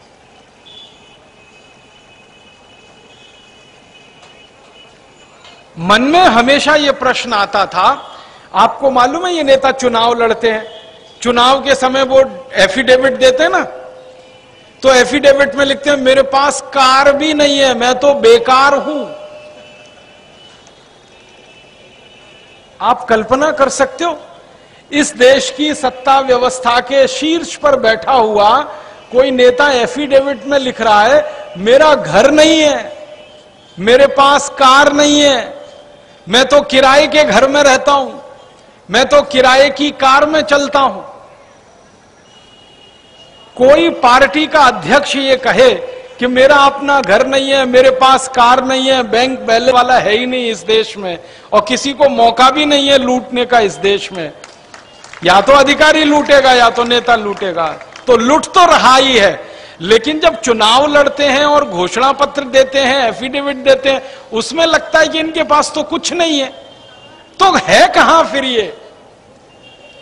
इसको जब हमने खोजना शुरू किया तो पता चला ये सारा पैसा लूट लूट के विदेशी बैंकों में जमा करते हैं। यहाँ नहीं रखते। यहाँ रखेंगे तो पकड़ा जाएगा। किसी ना किसी दिन छापा पड़ जाएगा। सीबीआई का हो सकता है, एनफोर्समेंट डायरेक्टरेट का हो सकता है। तो बहुत चालाक और हरामी नेता हैं। लूटते तो हैं, ले जाके विदेशी बैंकों में जमा कर देते हैं। फिर हमने खोजना शुरू किया कि विदेशी बैंकों में कितना जमा किया हुआ है। तो स्विट्जरलैंड नाम का एक देश है, वहाँ की बैंकों ने नेताओं का पैसा रखा हुआ है। वहाँ 36 बैंकें हैं। जैसे अपने देश में है ना, state bank of India, Punjab national bank, Canara bank ऐसे ऐसे स्विट्जरलैंड में कुछ बैंक हैं। एक का नाम है bank of Geneva, bank of Zurich bank of Switzerland ऐसी 36 बैंकें हैं। उन बैंकों में नेताओं के खाते खुले हैं, भारत के नेताओं के। उनमें पैसा रखा हुआ है। ये जो 36 स्विट्जरलैंड की बैंकें हैं, इनका एक एसोसिएशन है। स्विस बैंक एसोसिएशन उसको कहते हैं। उनकी हर साल एक रिपोर्ट निकलती है। उस रिपोर्ट में वो बताते हैं कि कितना धन उनकी बैंकों में जमा है। तो पिछले साल उनकी रिपोर्ट आई, उसमें उन्होंने कहा कि भारत के नेताओं का स्विट्जरलैंड की बैंकों में एक हज़ार पाँच सौ अरब डॉलर जमा है। एक हज़ार पाँच सौ अरब डॉलर। अरब। अरब का माने सौ करोड़। एक हज़ार पाँच सौ में सौ करोड़ का गुणा करो, इतने डॉलर। और एक डॉलर में पचास रुपया होता है। तो एक हज़ार पाँच सौ में सौ का गुणा करो और पचास का गुणा करो, इतने रुपए। तो ये रुपए में निकलता है पिचहत्तर लाख करोड़ रुपए।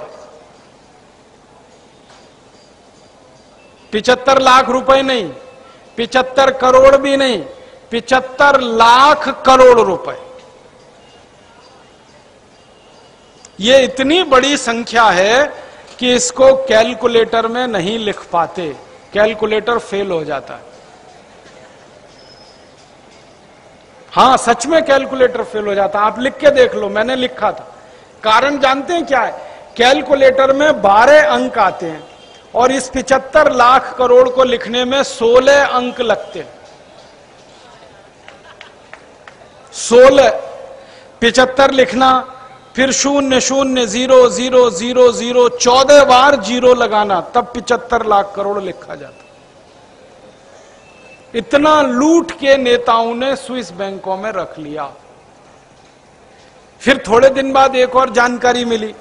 स्विट्जरलैंड के अलावा कुछ और देश हैं दुनिया में। एक छोटा सा देश है, उसका नाम है पनामा। बहुत छोटा सा। एक छोटा सा देश है, उसका नाम है गिनी बिसाऊ। बहुत छोटा सा। फिर एक छोटा सा देश है, उसका नाम है ट्रिनी डॉड फिर एक छोटा सा देश है, उसका नाम है टोबेगो। ऐसे सत्तर देश और हैं, वहाँ भी भारत के नेताओं के खाते खुले हुए और उन देशों की बैंकों में 35 लाख करोड़ और जमा किए हुए हैं। माने कुल मिलाकर 110 लाख करोड़ रुपया भारत के हरामी निकम्मे नेताओं ने लूट लूट कर विदेशी बैंकों में रख लिया आप बोलो, इनको हरामी न कहें तो क्या कहें? इससे अच्छा शब्द है आपके पास तो मुझे बता दो, मैं कहूँगा।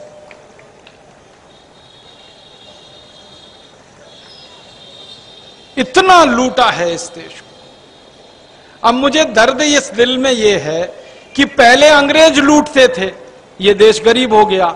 अब काले अंग्रेज़ लूट रहे हैं तो गरीबी ही आएगी और क्या आएगा इस देश में? बताओ, खुशहाली कैसे आएगी? गरीबी ही आएगी। इसका मतलब बिल्कुल साफ़ है कि इस देश की गरीबी अगर मिटानी है तो ये लूट बंद करानी पड़ेगी, नहीं तो ये गरीबी हटेगी नहीं, मिटेगी नहीं। ये कुछ ऐसी कहानी है कि एक घड़ा है आपके पास, उसमें पानी भरो। और ये कहो कि घड़ा लबालब भर जाए। ये तभी संभव है जब घड़े में छेद ना हो। और घड़े में बीसियों छेद कर दें। कितना भी तेज नल के नीचे रख दो, वो कभी भर ही नहीं सकता, क्योंकि पानी उसमें से निकलता रहता है। देश की लूट अगर ऐसे ही होती रहेगी, देश में कभी अमीरी आ नहीं सकती, गरीबी ही आएगी। इन अधिकारी और नेताओं ने कितना लूटा है इस देश को? मैं कुछ बताता हूँ आपको। मैं महाराष्ट्र में पिछले दस साल से रहता हूँ। महाराष्ट्र में एक नेता है। नाम नहीं लेता मैं उसका। हाँ क्योंकि मामला थोड़ा गंभीर है। बल्कि आप तुरंत समझ जाएँगे। एक मिनट लगेगा आपको समझने में। नाम नहीं लू तो भी समझ जाएँगे। वो नेता के घर में 20 साल पहले खाने को रोटी नहीं थी। पहनने को कपड़ा नहीं था। दूसरों की जेब से पैसे निकाल के बंबई जाता था। बस में बैठ के, ट्रेन में बैठ अब उसको मौका मिल गया मुख्यमंत्री बनने का, केंद्र सरकार में मंत्री बनने का। आज उस अकेले नेता के पास बंबई से पूना के बीच की हज़ारों एकड़ ज़मीन है, एक नेता के नाम से। अरे अब आप क्यों बोल रहे हैं? आपको मालूम ही है। कितने होशियार लोग अब आप अंदाज़ा लगा लो कि एक नेता के पास बंबई से लेके पूना के सब गाँव की हज़ारों एकड़ ज़मीन है, एक के पास। कितना लूटा होगा। एक और ऐसे ही नेता है महाराष्ट्र में 20 साल पहले वो दादर रेलवे स्टेशन पे भाजी बेचता था, पालक बेचता था, मेथी बेचता था छोटे छोटे गड्ढे बना के बेचता था। आज उसके पास बंबई में बीस हज़ार करोड़ की संपत्ति। एक नेता है, नासिक में सिनेमा का टिकट ब्लैक करता था 20 साल पहले। आज उसकी पच्चीस हज़ार करोड़ की संपत्ति।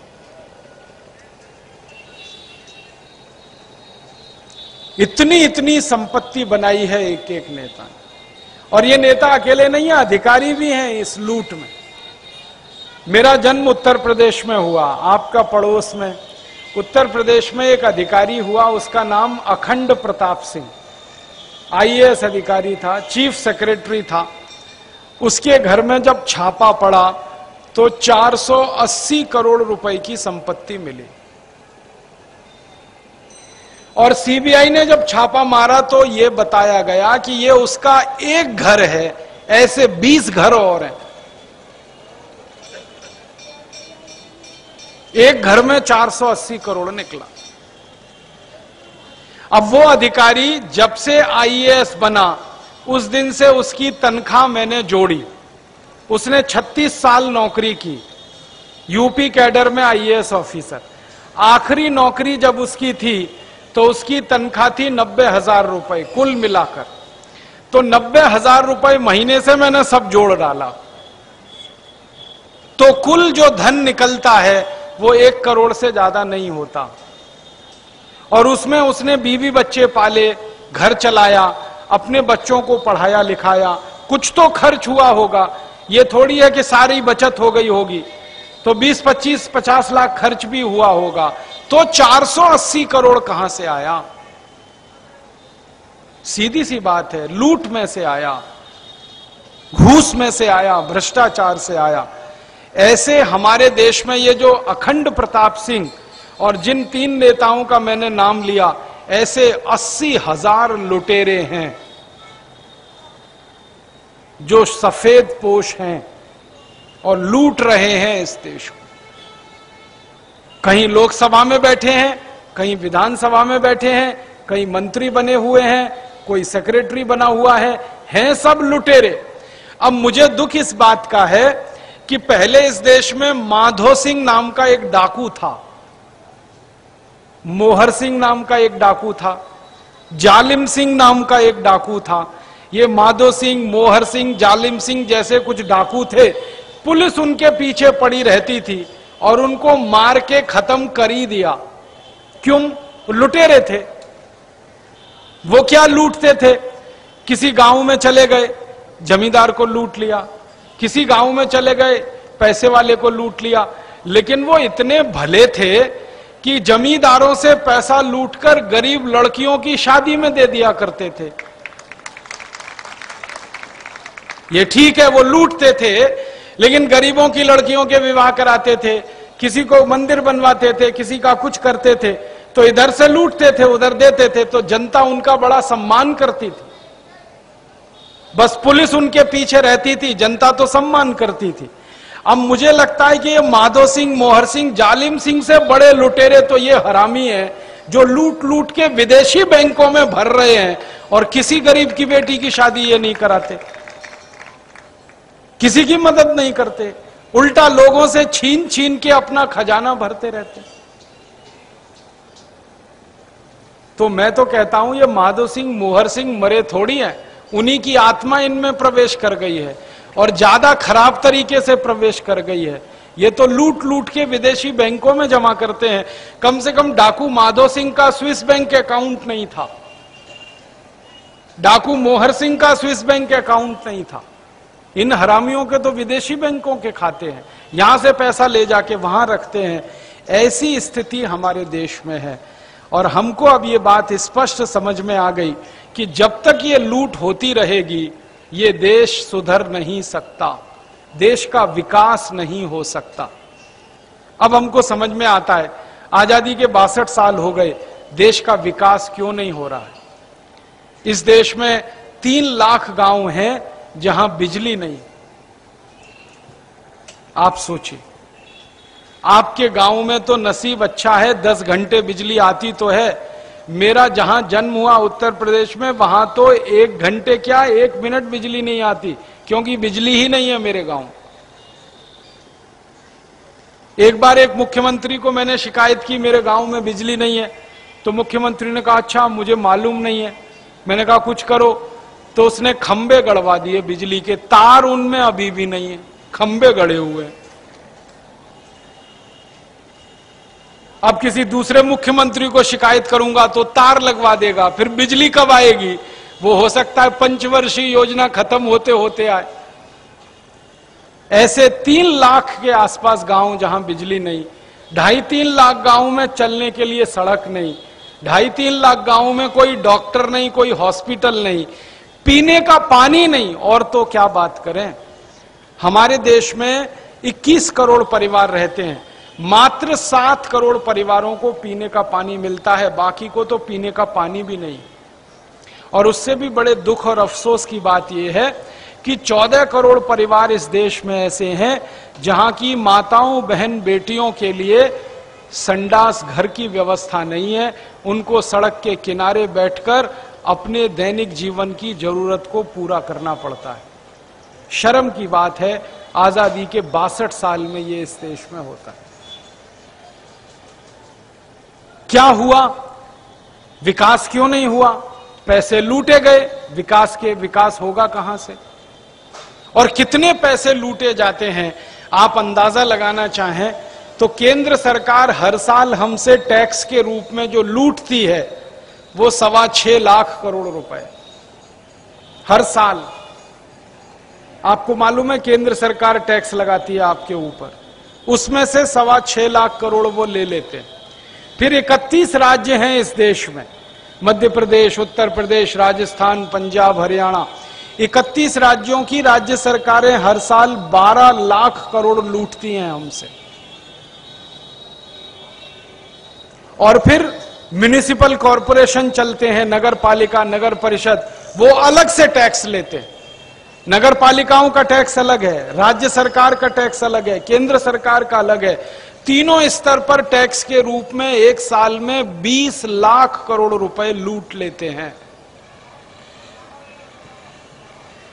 अगर ईमानदारी से ये 20 लाख करोड़ रुपए विकास के लिए खर्च किया जाए तो इस 20 लाख करोड़ के धन से इतना सोना आता है कि गाँव की एक एक सड़क सोने से बनाई जा सकती है। एक दो साल में ही देश सोने की चिड़िया हो सकता है। इतनी बड़ी रकम है ये। लेकिन राजीव गांधी कहा करते थे कि इस 20 लाख करोड़ का पिचासी प्रतिशत लुट जाता है उन्नीस सौ चौरासी और अब 90 प्रतिशत लुट जाता है 2009 में। इसका माने सिर्फ़ दो लाख करोड़ रुपया एक साल में विकास के लिए खर्च होता है।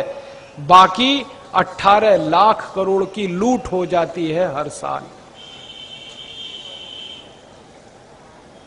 ये धन कौन देता है? 20 लाख करोड़ का आप देते हैं, मैं देता हूँ। कैसे देते हैं, मैं उदाहरण से बताता हूँ। मेरे हाथ में एक पेन है। ये आप खरीदो व्यावराम किसी भी दुकान से ये पेन खरीदोगे, दस रुपए से कम में नहीं मिलेगा। हो सकता है बारह रुपए में मिले, हो सकता है पंद्रह। दस से कम तो ये नहीं ही मिलेगा। आपको मालूम है, ये दस रुपए में जो पेन आप खरीदते हैं, इसको बनाने वाली एक कंपनी है बंबई में। उस कंपनी के मालिक के साथ एक बार मैंने खाना खाया। उसको मैंने पूछा कि भाई, ये आपकी फैक्ट्री में पेन बनता है। आप कितने रुपए में ये बनाते हो? और बाज़ार में हमको ये दस रुपए से कम में नहीं मिलता। तो उसने कहा, आपको क्या करना? मैंने कहा, मुझे जानना है कि लूट कितनी हो रही है। ये बनता कितने का है? तो ये पेन जब फैक्ट्री में बनता है तो उसकी जो लागत आती है, उसको अंग्रेज़ी में कहते हैं कॉस्ट ऑफ़ प्रोडक्शन उत्पादन की लागत। और ये जो टैक्स के लोग हैं ना इनकम टैक्स सेल्स टैक्स वाले, ये उसको कहते हैं एक्स फैक्ट्री प्राइस फैक्ट्री में बनने की कीमत, कुल कीमत। तो ये पेन उसने बताया फैक्ट्री में बनता है डेढ़ रुपए का। मैं पूछा, वो डेढ़ का भी हिसाब बताओ। तो उसने कहा, ये इसके ऊपर जो प्लास्टिक का कब, कवर है ना, ये सत्तर पैसे का है, सत्तर पिचहत्तर पैसे। इसके अंदर की जो रिफिल है, वो साठ सत्तर पैसे की और फिर इसका ये जो बना है स्टील का, ये दस पैसे का। लगभग डेढ़ रुपए का ये पेन बन जाता है। मैं उसको पूछा, तुम मुनाफा कितना लेते हो? उसने कहा, पचास पैसा। तो दो रुपए का होगा। अब ये दो रुपए का पेन आपको दस रुपए में मिलता है। क्योंकि आठ रुपए इस पर टैक्स लगता है। और इस पर केंद्र सरकार का टैक्स अलग लगता है, राज्य सरकार का अलग लगता है। माने एक पेन खरीदा, सरकार ने आठ रुपए लूट लिया आपसे इस पेन। और एक उदाहरण देता हूँ। मेरे हाथ में एक घड़ी है। ये घड़ी टाटा कंपनी की है, टाइटन। एक बार मैं इस फैक्ट्री में भाषण देने गया था, टाइटन की फैक्ट्री में। वहाँ के एक मैनेजर को मैंने पूछा, ये घड़ी मैंने बाज़ार से खरीदी है, पाँच सौ सत्तर रुपए की आई और इसको खरीदे हुए दस साल हो गया। तो मैं पूछा, भैया, ये घड़ी कितने की बनती है आपके यहाँ? तो उसने कहा, घड़ी की एक्स फैक्ट्री प्राइस है सत्तर रुपया और मैंने खरीदी ये पाँच सौ सत्तर रुपए। ऐसे लूटा है। कैसे लूटते हैं आपको टैक्स के रूप में? और एक उदाहरण देता हूँ। ब्यावरा में आप घर बनाओ। घर बनाने के लिए सीमेंट खरीदोगे। सीमेंट का एक पचास किलो का पैकेट आप खरीदोगे। कितने का आता है? ढाई सौ रुपए का। आपको मालूम है ढाई सौ रुपए का जो सीमेंट पैकेट आप खरीदते हो, वो फैक्ट्री में छिहत्तर रुपए में बनता है। लोहा खरीदो आप घर बनाने के लिए। एक किलो लोहा मिलेगा पचास रुपए का और एक किलो लोहा फैक्ट्री में बारह रुपए का बनता है। कुछ भी खरीदो आप इस देश में, उस पर टैक्स है। बिना टैक्स की कोई चीज़ अब इस देश में नहीं है। अंग्रेज़ों के जमाने में एक चीज़ थी जिस पर टैक्स नहीं था, वो नमक। इन काले अंग्रेज़ों ने नमक पे भी टैक्स लगा दिया। अब नमक भी बिना टैक्स के नहीं नमक बनता है समुद्र के पानी से, जिसमें कोई खर्चा नहीं है। सूरज की धूप, समुद्र का पानी पानी सूख जाता है, नमक रह जाता है। वो नमक पंद्रह बीस पैसे किलो में सबको मिल सकता है। वो बिक रहा है पंद्रह रुपए किलो। लूट रहे हैं आप। कोई भी चीज़ बाज़ार से आप खरीदें, टैक्स ही टैक्स हैं उसमें और कितने टैक्स हैं? चौसठ तरह के टैक्स हैं इस देश में। दो टैक्स हैं, वो डायरेक्ट हैं, इनकम टैक्स और कॉरपोरेट टैक्स। बाकी बासठ तरह के टैक्स इनडायरेक्ट हैं। इतने टैक्स हम देते हैं सरकार को। ये पैसा इकट्ठा होकर 20 लाख करोड़ होता है। इसमें से 18 लाख करोड़ लूट लेते हैं नेता और अधिकारी। दो लाख करोड़ विकास पे खर्च करते। अब दो लाख करोड़ रुपया खर्च किया जाए 115 करोड़ की आबादी पर। तो एक आदमी पे कितना निकलेगा?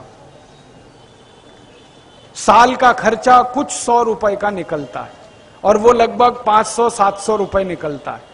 अब एक आदमी पे साल के विकास का पाँच सात सौ रुपए खर्च हो तो क्या होगा उसमें? इतनी महँगाई के जमाने में। ऐसे लूट हो रही है हमारे देश की। तो हम लोगों ने एक संकल्प लिया और वो संकल्प ये है कि जैसे अंग्रेज़ों की लूट बंद करने के लिए क्रांतिकारियों ने इस देश में अभियान चलाया था, वैसे ही इन काले अंग्रेज़ों की लूट को बंद करने के लिए हमने ये भारत स्वाभिमान नाम का अभियान चलाया है। और हम इसमें कुछ काम करना चाहते हैं। उसमें से एक काम ये करना चाहते हैं कि ये जो लूट रहे हैं पैसे को, ये पैसा भारत के बाहर नहीं जाना चाहिए और ये लूट बंद होनी चाहिए। तो आप बोलेंगे, कैसे हो सकती है? हमने इसके लिए सरकार के सामने दबाव डालना शुरू किया है।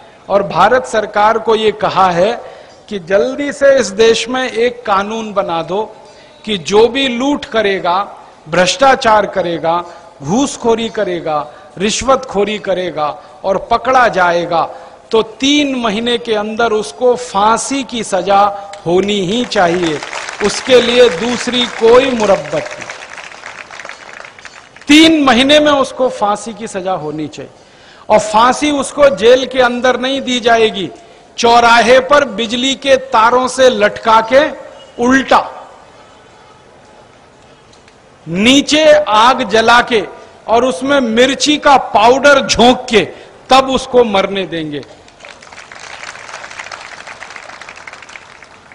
जब इतनी सख्त सजा होगी, तब घूसखोरी, रिश्वतखोरी इस देश में खत्म होगी, नहीं तो नहीं होगी। दुनिया में कई देश हैं, आपको मालूम है, जहाँ रिश्वत लो तो गोली मार देते हैं, सीधे। अभी थोड़े दिन पहले चीन में एक दुर्घटना हो गई थी। कुछ अधिकारी पकड़े गए रिश्वत लेते हुए। उन अधिकारियों को 90 दिन नहीं हुए। उसके पहले चौराहे पे खड़े करके सबको गोली मारी गई थी, लोगों को दिखा के कि तुम देख लो, अगर तुम ये करोगे तो ऐसे ही तुमको मारी जाएगी। तो भ्रष्टाचारियों को फांसी की सजा होनी ही चाहिए। हमारे देश में आज मुश्किल क्या है? भ्रष्टाचारी एक तो पकड़े नहीं जाते। पकड़ जाए तो ज़िंदगी भर जेल के बाहर रहते हैं। कभी उनको कोई सख्त सजा नहीं मिलती। आप देख लो, मंत्री बन बन के, मुख्यमंत्री बन बन के शासन चलाते रहते हैं, जिन्होंने करोड़ों रुपए लूटे हैं इस देश के। मुकदमे भी चल रहे हैं और वो मुख्यमंत्री भी बने हुए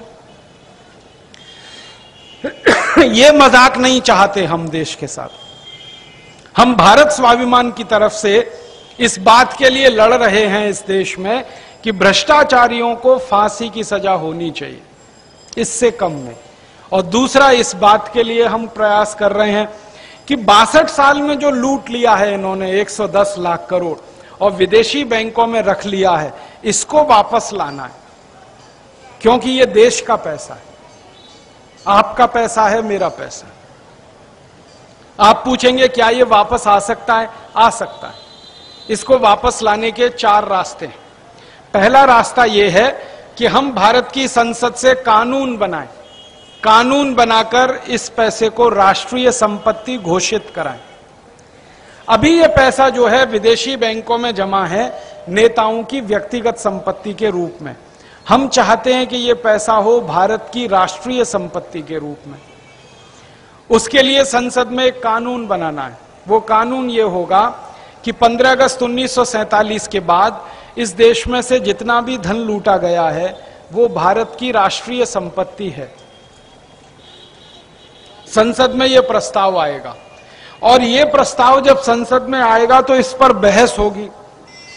बहस के समय आप भी देखना, मैं भी देखूँगा। कौन कौन हरामी नेता इसका विरोध कर रहा है, आप ये देखना जो विरोध करेगा, पक्की बात है, हरामी नंबर एक वो ही है पैसा उसी का है, खाता उसी का है, विदेशी बैंकों। नहीं तो विरोध क्यों करेगा? तो पता चल जाएगा किस किस के खाते हैं। और हमारी एक तैयारी है वो ये कि अगर वर्तमान संसद ये कानून पास नहीं करेगी तो हम नई संसद बनाकर ये कानून पास करवाएँगे।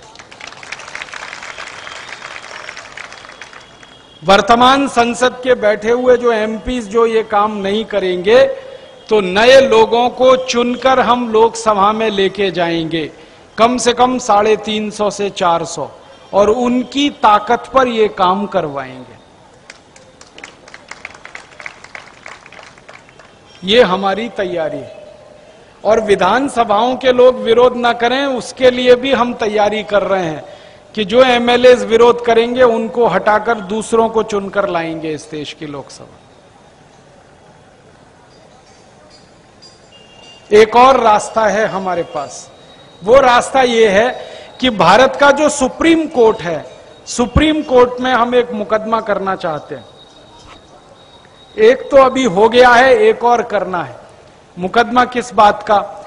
एक बार सुप्रीम कोर्ट ने हमारे देश में एक फैसला दिया था। नरसिम्हा राव इस देश के प्रधानमंत्री थे। उनके जमाने में एक यूरिया घोटाला हुआ था। उसमें 133 करोड़ रुपए यूरिया खरीदने के लिए दिए गए, यूरिया नहीं आया। पैसे दे दिए। जाँच की गई तो पता चला वो पैसे स्विस बैंक में जमा हो गए। और नरसिम्हा राव के बेटे के खाते में जमा हो गए। तो सुप्रीम कोर्ट ने आदेश किया कि उस खाते को जब्त किया जाए। जिसका खाता है उसको गिरफ़्तार किया जाए। तो नरसिम्हा राव के बेटे की गिरफ्तारी हुई।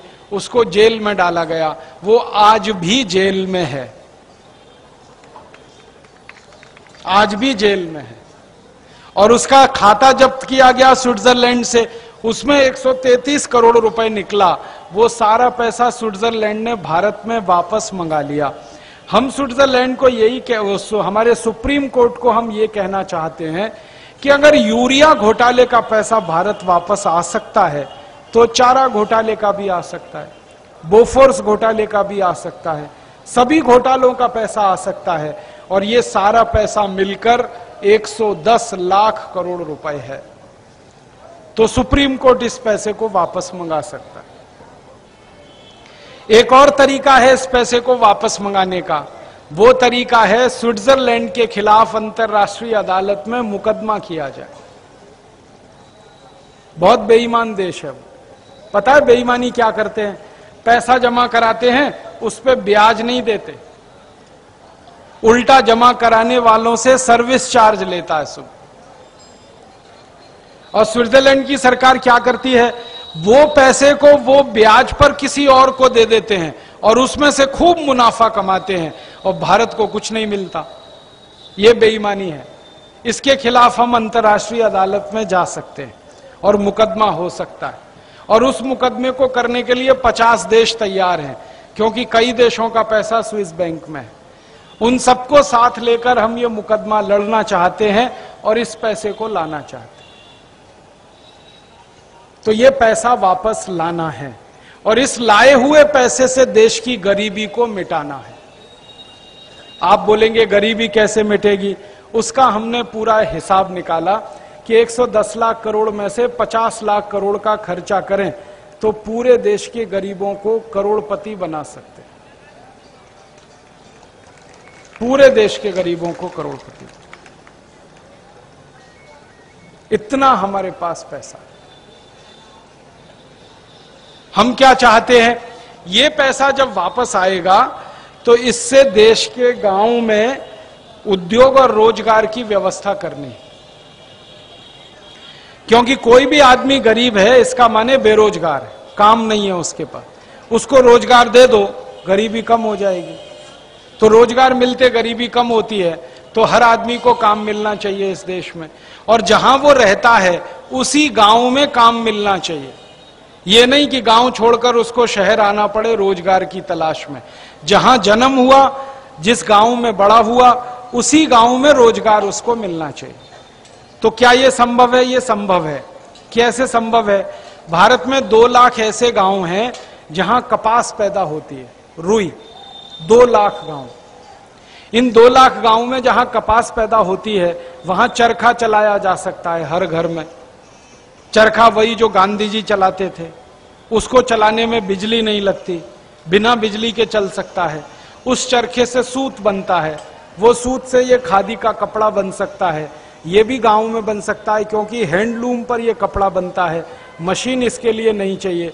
तो खादी का सूत बनाना, खादी का कपड़ा बनाना, ये दो लाख गाँव में संभव है। आराम से दो लाख गाँव के करोड़ों परिवारों को ये रोज़गार हम दे सकते हैं। और इसका मैंने हिसाब निकाला, कोई भी साधारण व्यक्ति एक दिन में आठ घंटे अगर चरखा चलाए तो सौ से डेढ़ सौ रुपए उसको आराम से मिल जाता है। कोई कोई लोग तो दो सौ रुपए रोज कमा सकते हैं, आठ घंटे चरखा चला के। हर परिवार को रोजी रोटी की व्यवस्था हो सकती अब आप बोलेंगे कि ये दो लाख गाँव में खादी बनेगी तो सही, खरीदेगा कौन? हम खरीदेंगे ना। आप खरीदेंगे, मैं खरीदूँगा।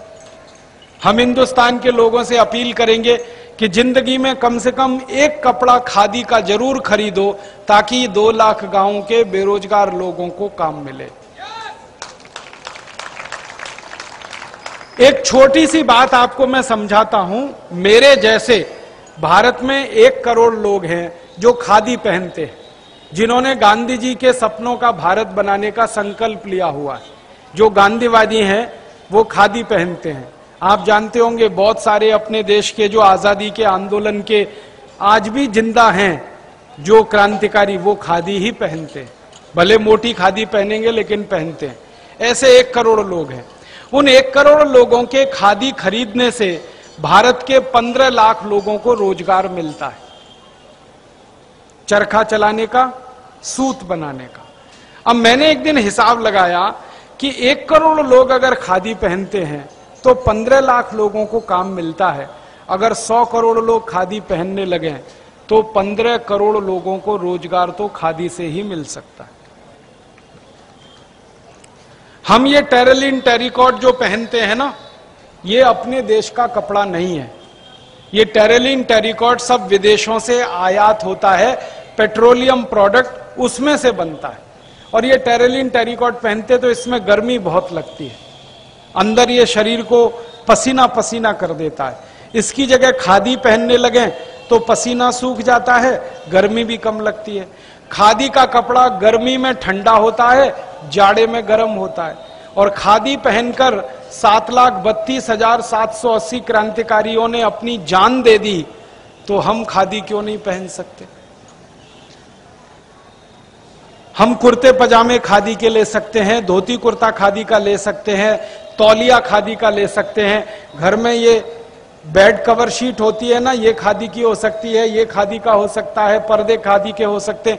कुछ नहीं तो साल में दो दो चार चार रूमाल अगर खादी के खरीद ले तो करोड़ों लोगों को रोज़गार मिल सकता है इस देश में। तो बनाएँगे गाँव वाले, खरीदेंगे हम।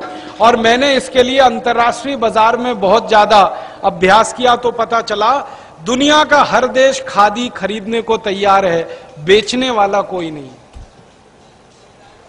अमेरिका और यूरोप में मालूम है, सूती कपड़ा सबसे अच्छा मानते हैं। लेकिन खादी का मिले तो वो और अच्छा मानते हैं। लेकिन कोई देने वाला नहीं है, क्योंकि बनती नहीं है। अगर भारत के गाँव गाँव में खादी बनने लगे, दुनिया भर में बिकेगी। और घरों में किसानों के सीधे पैसा आएगा, जो कपास पैदा करेंगे, जो चरखा चलाएँगे, जो सूत बनाएँगे, बेरोजगारी इससे खत्म होगी। दूसरा, हम क्या चाहते हैं? हर गाँव में सरसों पैदा होती है, तिलहन पैदा होता है तो हर गाँव में तेल पैदा हो सकता है। सरसों का तेल, तिल का तेल, नारियल का तेल, मूंगफली का तेल, ये सब तेल गाँव में पैदा होकर डब्बे में भर के शहर में बिकने को जा सकते हैं। और एक साल में भारत में छप्पन हज़ार करोड़ रुपए का तेल बिकता है। इतने तेल पर पचास हज़ार गाँव में रोज़गार लोगों को मिल सकता है, जो तेल बनाकर हमें दें। आप बोलेंगे, तेल मिल तेल मिल हम छोटी लगा सकते हैं, जो कोल्हू जैसी होती थी पहले, जो बिना बिजली के भी चल सकती। और जिन गाँवों में बिजली है, वहाँ बिजली की भी लगा सकते हैं। और मैंने तो ये जानकारी ली प्रयोगशाला में जाँच करवा के कि बिजली की तेल मिल से जो तेल निकाला जाता है और बैल के द्वारा कोल्हू चलाकर जो तेल निकाला जाता है, उसमें बैल वाले कोल्हू के तेल की क्वालिटी हज़ार गुनी ज़्यादा है बिजली के मिल की क्वालिटी से। और अब मुझे पता चला कि हमारे पुराने पुरखे, वो कोल्हू का तेल खाते थे, किसी को हार्ट अटैक नहीं आता था। किसी को डायबिटीज़ नहीं होती थी, किसी को ब्लड प्रेशर नहीं था, किसी को शुगर नहीं थी, किसी को हेमरेज नहीं होता था, क्योंकि वो तेल खाने से एचडीएल बढ़ता था और एचडीएल बहुत ज़रूरी है जो शरीर का ज़्यादा बढ़े। एलडीएल और वीएलडीएल खतरनाक है, जो नहीं बढ़ना चाहिए। ये एलडीएल, वीएलडीएल बढ़ता है मिल के तेल से, मशीन के तेल से। तो गाँव गाँव ये कोलू का तेल निकाल के बैलों की मदद से बहुत बड़ा व्यापार चल सकता है, रोज़गार मिल सकता है। ऐसे ही एक तीसरा उदाहरण देता हूँ। भारत में नब्बे हज़ार गाँव हैं जहाँ आलू पैदा होता है। और वो आलू का चिप्स बन सकता है। और वो चिप्स बाज़ार में बिक सकता है। अभी हम बाज़ार से चिप्स खरीदते हैं, पंद्रह रुपए का एक पैकेट आता है। और पंद्रह ग्राम चिप्स निकलता है। माने हज़ार रुपए किलो चिप्स बिकता है और बीस रुपए किलो आलू बिकता है। तो आलू बेचने में फ़ायदा नहीं, चिप्स बेचो ना। तो नब्बे हज़ार गाँव में चिप्स बनाने का काम हमारी माताएँ, बहनें कर सकती हैं। सब घर की माताओं को चिप्स बनाना आता है। वो बेचने के लिए हम सब लोग शहर में मदद कर सकते हैं। ऐसे ही भारत के साठ पैंसठ हज़ार गाँव में टमाटर पैदा होता है। तो टमाटर की चटनी गाँव में बन सकती है और पैकेट में भर के शहर में बिक सकती है। हमारे गाँव में जो पैदा होने वाली चीज़ें हैं, गेहूँ पैदा होता है भारत के दो ढाई लाख गाँव में। हर गाँव में गेहूँ का आटा निकाला जा सकता है और आटे को पैकेट में बंद करके शहर में बेचा जा सकता है। तो रोज़गार गाँव में खड़ा करना है, ताकि गाँव के हर आदमी को अपने ही स्थान पर काम मिले, उसको शहर जाकर किसी की नौकरी नहीं करनी पड़े। और ये रोज़गार का काम खड़ा करने के लिए थोड़े से पैसे चाहिए, वो स्विस बैंक के आएँगे तो उसमें से हम खर्च करना चाहते हैं। उसी में से हम और पैसा खर्च करना चाहते हैं स्कूल बनाने के लिए हर गाँव अभी भारत के 50 प्रतिशत बच्चे हैं जो पढ़ नहीं सकते, क्योंकि उनके लिए स्कूल की व्यवस्था नहीं। तो उन सब बच्चों के लिए गाँव में स्कूल खोले जा सकते हैं। फिर हमारे गाँव में सड़क नहीं है, सड़कें बन सकती हैं। पानी की व्यवस्था हो सकती है। बिजली की भी व्यवस्था एक लाख से ज़्यादा गाँव में हम कर सकते हैं। एक छोटा छोटा पावर प्लांट लगाएँ, एक मेगावाट का, साढ़े चार करोड़ में लग जाता है। साढ़े चार लाख करोड़ में एक लाख पावर प्लांट लग सकते हैं। और एक पावर प्लांट से चार पाँच गाँव को बिजली आराम से मिल सकती है। माने हर गाँव बिजली से जगमगा सकता है साढ़े चार लाख करोड़ के खर्चे में। और हमारे पास 110 लाख करोड़ है। साढ़े चार लाख करोड़ खर्च करना कौन बड़ी बात है? मैंने तो एक दिन सारा हिसाब निकाल लिया तो 50 लाख करोड़ का कुल खर्चा होगा और हर गाँव में सारी व्यवस्थाएँ हो जाएँगी, बिजली की, शिक्षा की, चिकित्सा की, पानी की, रोज़गार की, व्यापार की, सारी व्यवस्थाएँ 50 लाख करोड़ में हो जाएँगी। तो भी 60 लाख करोड़ बचेगा हमारे पास। उस बचे हुए पैसे को बैंक में जमा कर दो एक साल का ब्याज 10 प्रतिशत का आएगा तो 6 लाख करोड़ का ब्याज मिल जाएगा। उतने ब्याज से देश का हर साल बजट हम बना सकते हैं। किसी से टैक्स लेने की कोई ज़रूरत नहीं है, और टैक्स के माध्यम से जो लूट हो रही है, उसको पूरा बंद करा सकते हम चाहते हैं कि किसी से टैक्स ना लिया जाए, और तो भी देश चले बिना टैक्स के। अब बिना टैक्स के देश चलेगा तो कैसे? स्विस बैंक के पैसे से ब्याज मिले, उससे ही देश का विकास करो, टैक्स की ज़रूरत क्या? और टैक्स अगर हम खत्म करेंगे तो परिणाम जानते हैं क्या होगा? केंद्र सरकार के सारे टैक्स खत्म कर दें, महँगाई सत्तर प्रतिशत कम हो जाएगी इस देश सत्तर प्रतिशत। इसका मोटा हिसाब बताता हूँ। जो चीज़ अभी सौ रुपए में आप खरीदते हैं, वो तीस रुपए में मिल जाएगी।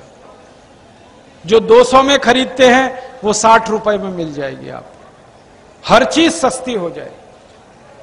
और चीज़ें जब सस्ती हो जाएँगी तो गरीबों को भी आसानी से ज़िंदगी चलाने का रास्ता खुल जाएगा। तो हम महँगाई खत्म करना चाहते हैं, गरीबी खत्म करना चाहते हैं, बेकारी खत्म करना चाहते हैं। पैसे कहाँ से लाएँगे? ये नेताओं ने जो लूटा है उसी में से इस पैसे का इस्तेमाल करके हम करना चाहते हैं। लोगों से हमें लेने की कोई ज़रूरत नहीं है। इतना पहले ही लूट लिया है नेताओं ने। उसी से देश का काम हो सके और एक फ़ायदा होने वाला है कि हम जब टैक्स खत्म करेंगे तो सबसे पहले इनकम टैक्स खत्म करना चाहते हैं। इनकम टैक्स खत्म करने का फ़ायदा क्या होगा? देश में कुछ पैसा ऐसा है जिसको काला धन कहते हैं, ब्लैक मनी। ये वो पैसा है जिस पर इनकम टैक्स नहीं दिया गया।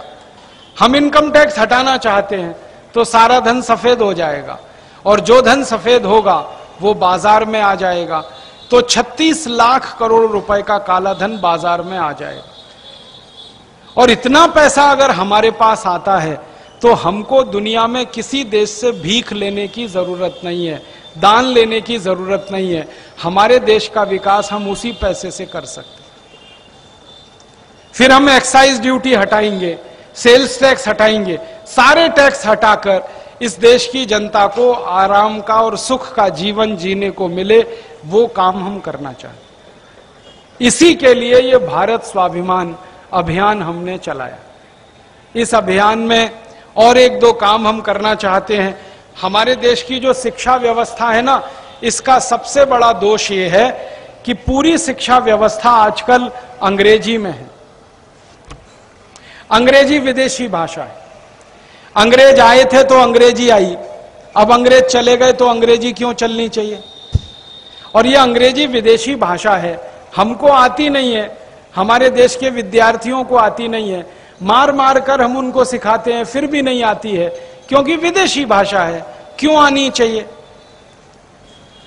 मैं तो लोगों से सीधे सीधे कहता हूँ कि हम जितना मार मार के बच्चों को अंग्रेज़ी सिखाते हैं उतना कोई अंग्रेज़ अपने बच्चों को मार मार के हिंदी नहीं सिखाता कभी जब वो हिंदी नहीं सिखाते, हम अंग्रेज़ी क्यों सिखा रहे हमको ऐसी गलतफहमी हो गई है।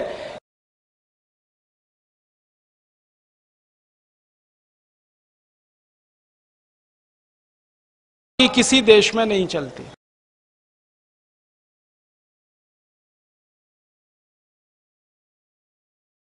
चलती है, जापान में जापानीज चलती है, चीन में चाइनीज़ चलती है, डेनमार्क में डेनिश चलती है, नीदरलैंड में डच चलती है, सभी देशों में उनकी मातृभाषाएँ चलती हैं। अंग्रेज़ी सिर्फ़ उन देशों में चलती है जो अंग्रेज़ों के गुलाम थे। जैसे ऑस्ट्रेलिया, जैसे न्यूजीलैंड, जैसे कनाडा, जैसे America, West Indies, Scotland, Ireland ये सब अंग्रेज़ों के गुलाम देश, इसलिए अंग्रेज़ी चलती है। जो देश अंग्रेज़ों के गुलाम नहीं, कहीं अंग्रेज़ी नहीं चलती। तो अंग्रेज़ी दुनिया की भाषा नहीं है, चौदह देशों की भाषा।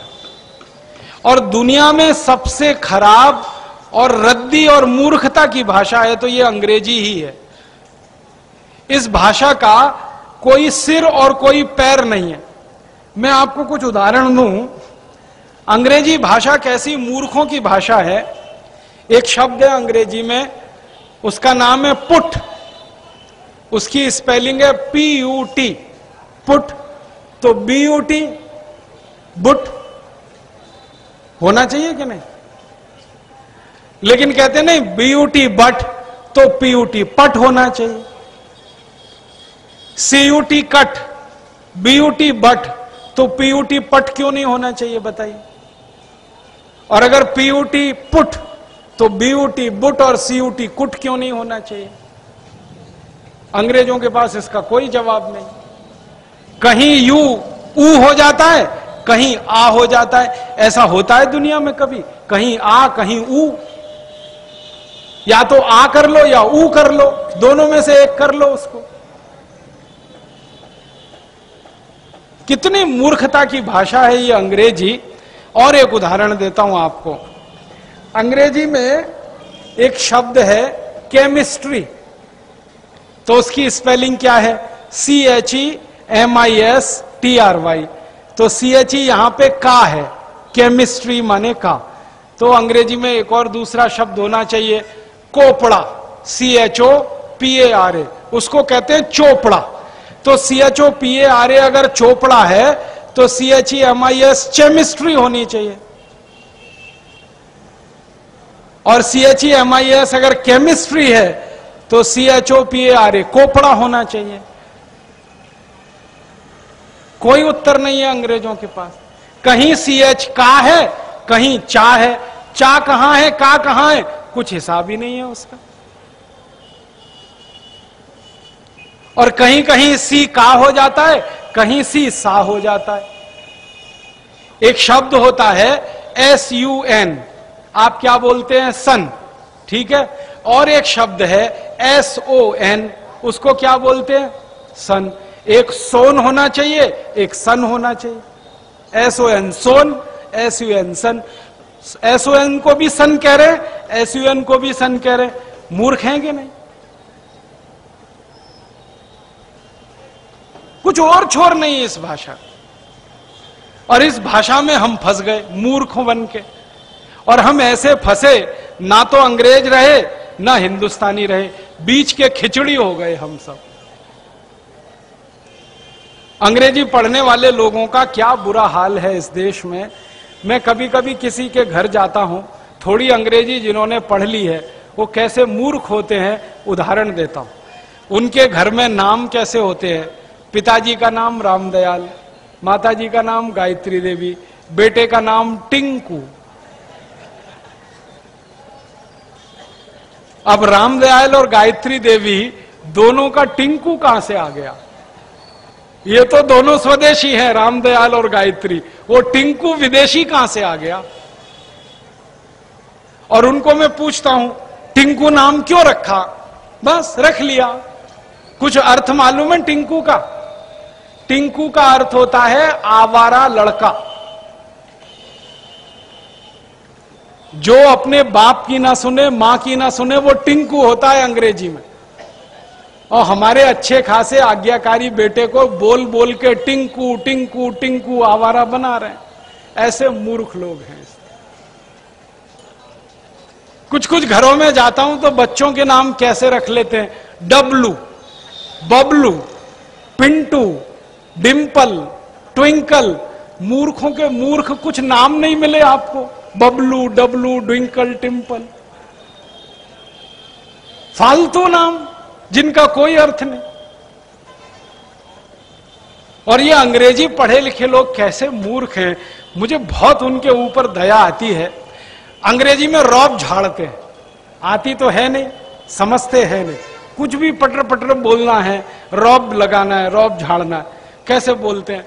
किसी के घर में मैं घुसा, वो अंग्रेज़ी में कहता, ओ Rajiv Dixit she is my missus मैं पूछता हूँ really she is your missus उनको मालूम ही नहीं मिसेज कहते किसको है।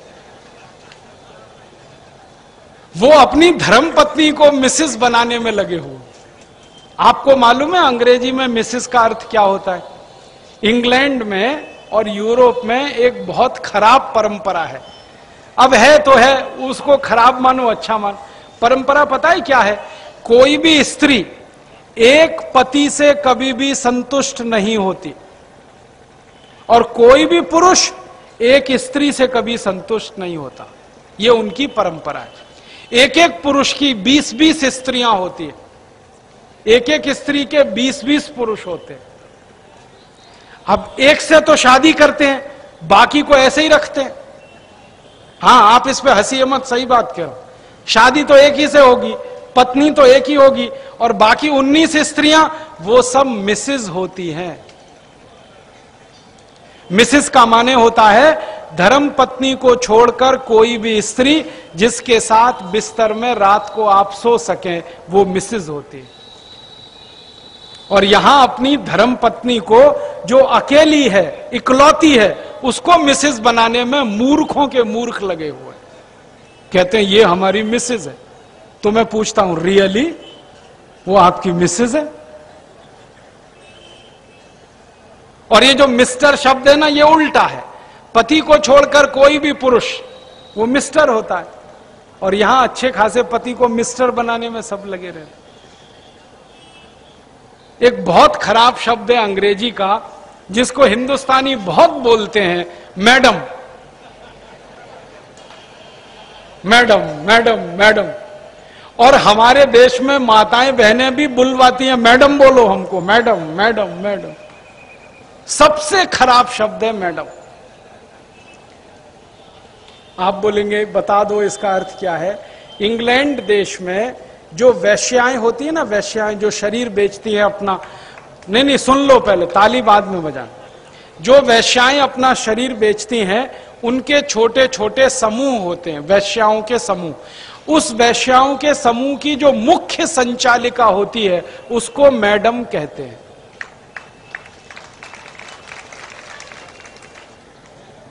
वैश्याओं की हेड वो मैडम होती है।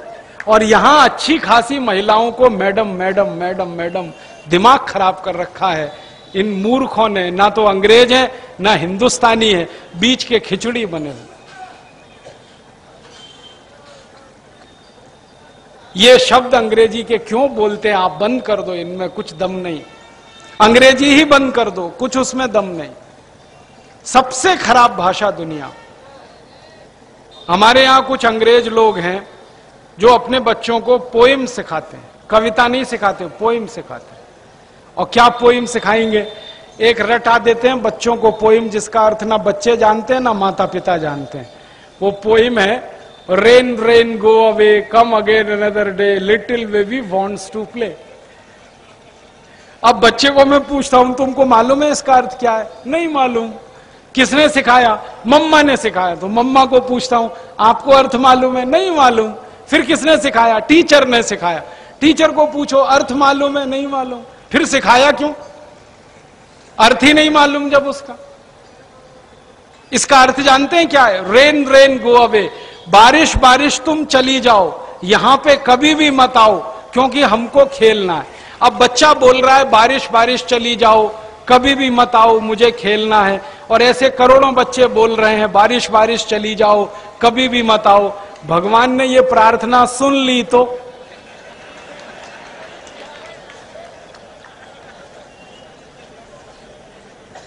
हमारे बच्चे बोल रहे हैं, बारिश बारिश, भाग जाओ, चली जाओ। भगवान ने ले लिया बारिश को वापस, और बारिश हुई नहीं इस देश में।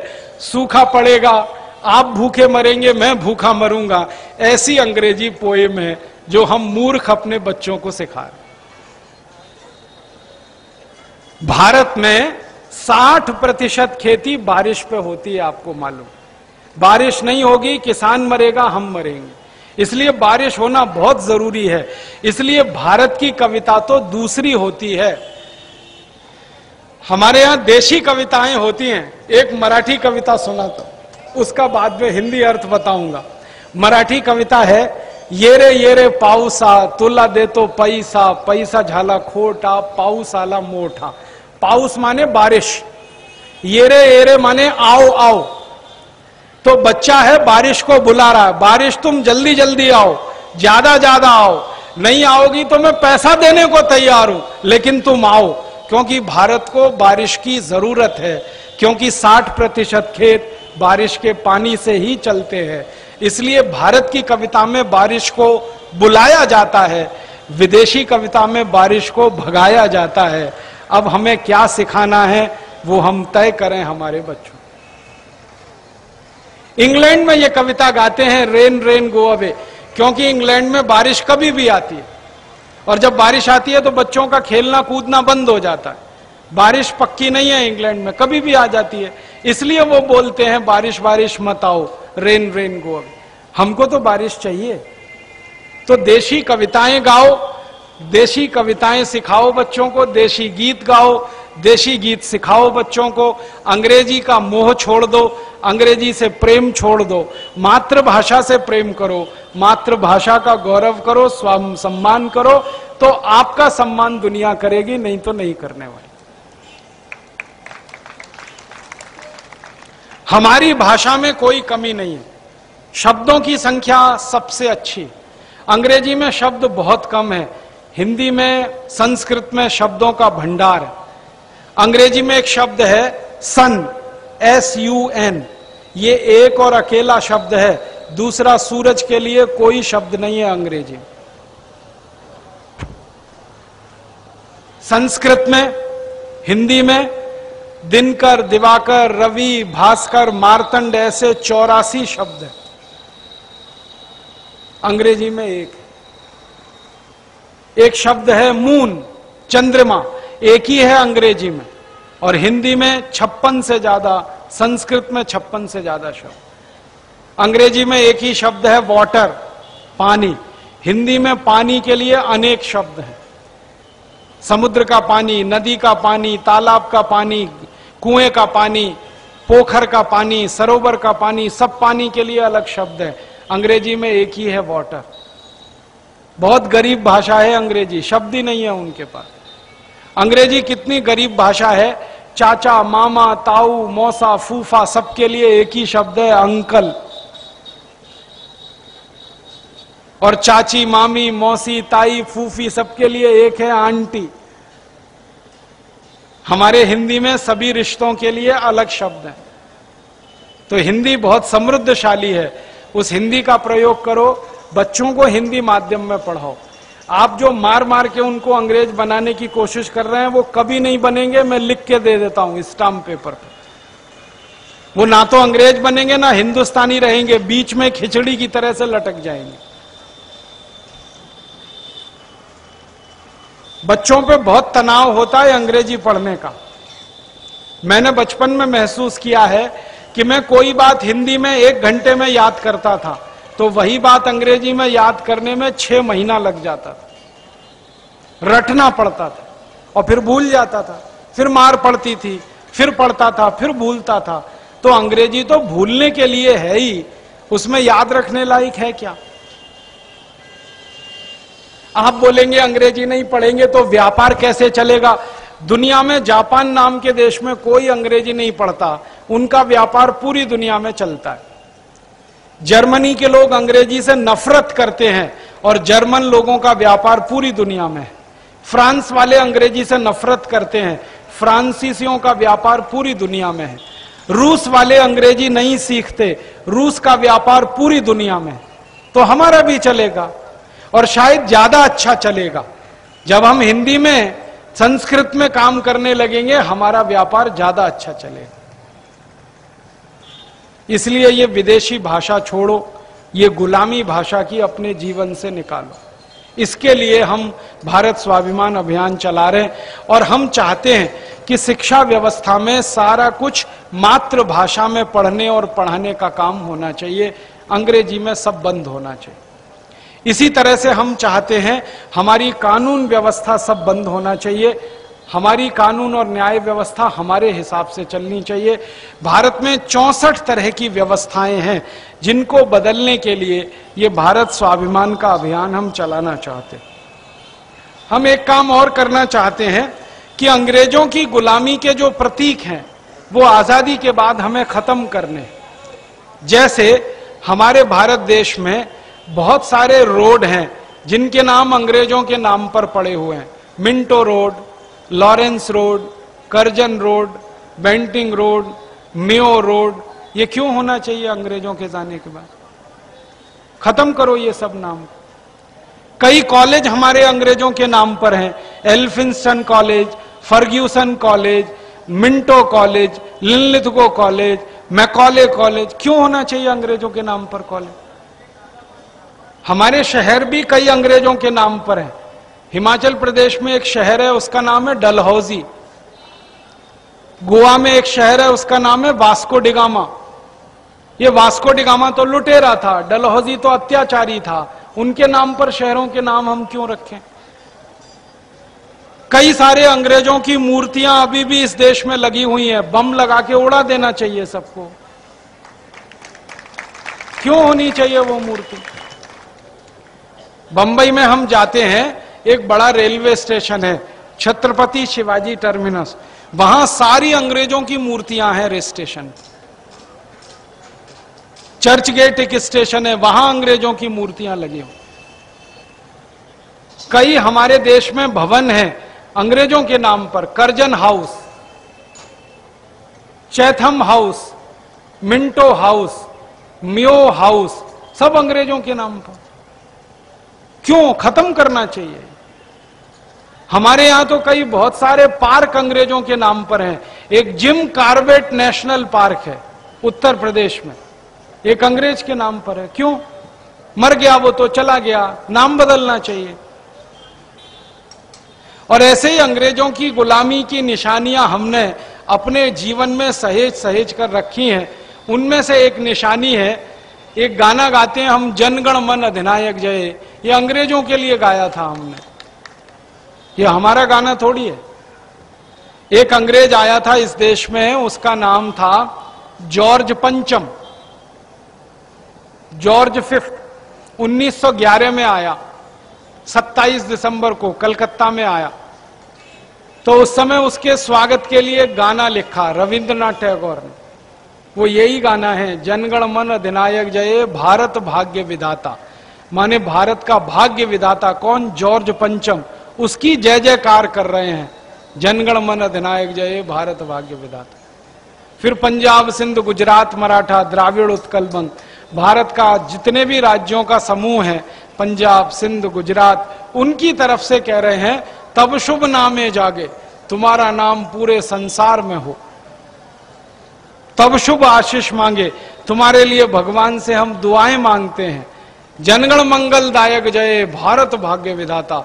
तुम्हारा मंगल हो, तुम्हारी जय हो, क्योंकि तुम हमारे भाग्य विधाता हो।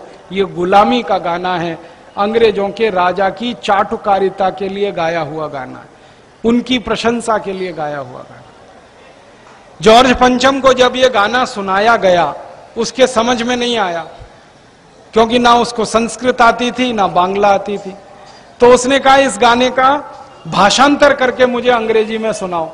तो उसका भाषांतर जब उसको अंग्रेज़ी में सुनाया, वो बहुत खुश हो गया। उसने कहा कि मेरे देश में मेरी कोई इतनी प्रशंसा नहीं करता है, भारत में मेरी इतनी प्रशंसा करते हैं। उसने कहा, मेरी बीबी ने कभी मेरी इतनी प्रशंसा नहीं की, ये भारतवासी तो उससे भी ज़्यादा कर रहे हैं। फिर उसने पूछा, किसने गाना लिखा? तो बताया गया, रविन्द्रनाथ टैगोर ने लिखा तो उनका नाम वाम सब ले गया। और वो व्यक्ति नोबल प्राइज देने वाली कमेटी का चेयरमैन था तो रविन्द्रनाथ टैगोर को इनाम में नोबल पीस प्राइज उसने दे दिया। लिटरेचर का नोबल प्राइज ऐसे मिला। लो, रविन्द्रनाथ टैगोर। अंग्रेज़ों की चाटुकारिता की, उनकी गुलामी की तो उन्होंने इनाम दे दिया। और उस इनाम को छाती से लगाकर रविंद्रनाथ टैगोर रखे रहे। महात्मा गांधी ने उनको इतना कहा कि ये वापस कर दो। ये गुलामी की निशानी है। रविन्द्रनाथ टैगोर ने कभी वापस नहीं किया। उस समय भी नहीं किया जब अंग्रेज़ों ने जलियांवाला बाग हत्याकांड कर दिया ना 1919 में। सारे हिंदुस्तानियों ने राय बहादुर की पदवी वापस कर दी अंग्रेज़ों को। रविन्द्रनाथ टैगोर ने ये इनाम वापस नहीं किया। वो रखा हुआ है अभी भी, लेकिन भला हुआ, कुछ चोर उसको चुरा ले गए। अब वो मिल नहीं रहा है। मुझे तो बड़ी खुशी है अच्छा हुआ। वो गुलामी का चिन्ह तो गया।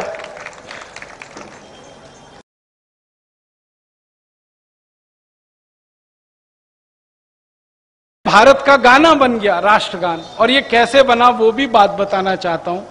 1946 में भारत का ये तय हो गया कि अंग्रेज़ छोड़ देंगे। तो भारत का संविधान बनाना, कानून बनाना, उसके लिए कमेटी बनाई गई। उसमें 319 लोग थे।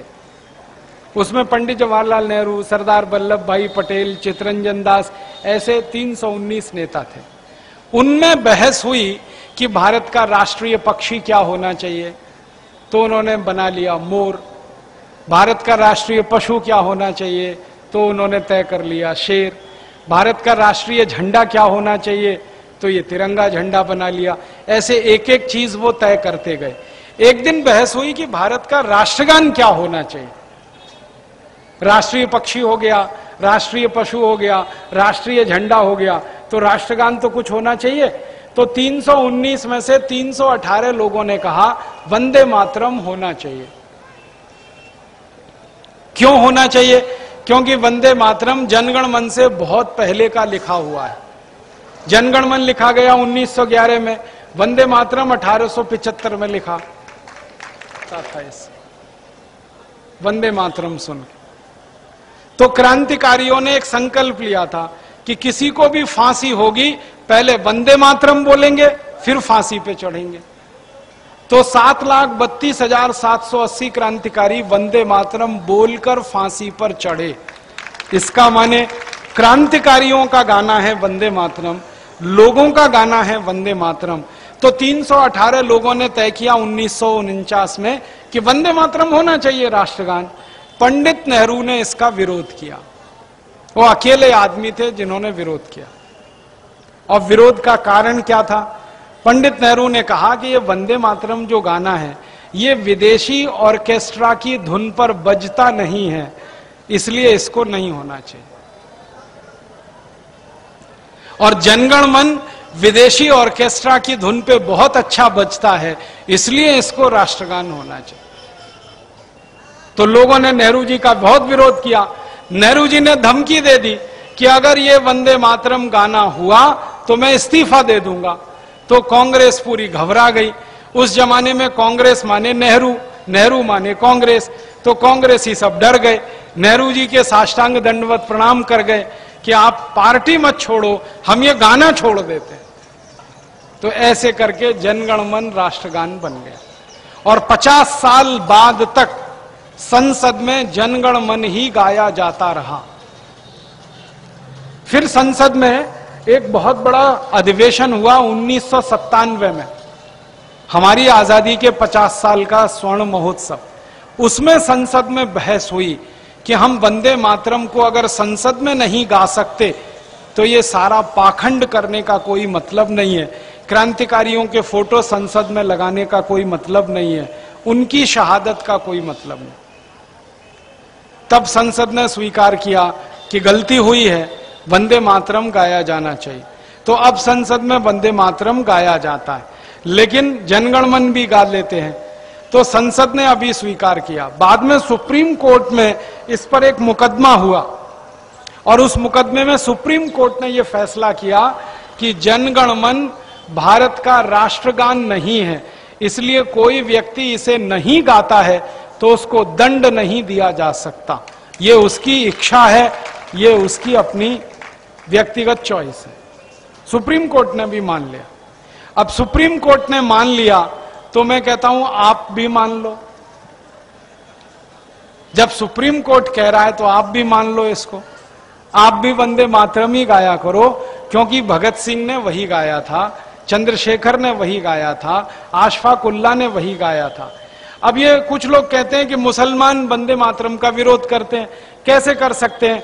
आशफाक उल्ला को फांसी लगेगी थी तो बंदे मातरम ही गाया था उन्होंने। और आशफाक उल्ला मुसलमान थे। पाँच वक्त की नमाज़ पढ़ते थे। वो खुद वंदे मातरम गाते थे। अजीम उल्ला करके एक मुसलमान थे। वो वंदे मातरम गाया करते थे। अठारह की लड़ाई में और उसके बाद भी। तो ये तो कुछ लोगों ने ज़बरदस्ती वोट बैंक की पॉलिटिक्स इसको बना दिया। मुसलमान वंदे मातरम नहीं गा सकते, ये तर्क देते हैं। लेकिन मुसलमान दो शब्द इस्तेमाल करते हैं, मादरे वतन। उसका मतलब ही है वंदे मातरम। मादरे वतन माने माँ भारती को वंदना। तो वंदे मातरम कह लो, वो भी माँ भारती की वंदना है। उर्दू में मादरे वतन है, संस्कृत में वंदे मातरम है। फ़र्क क्या है इसमें?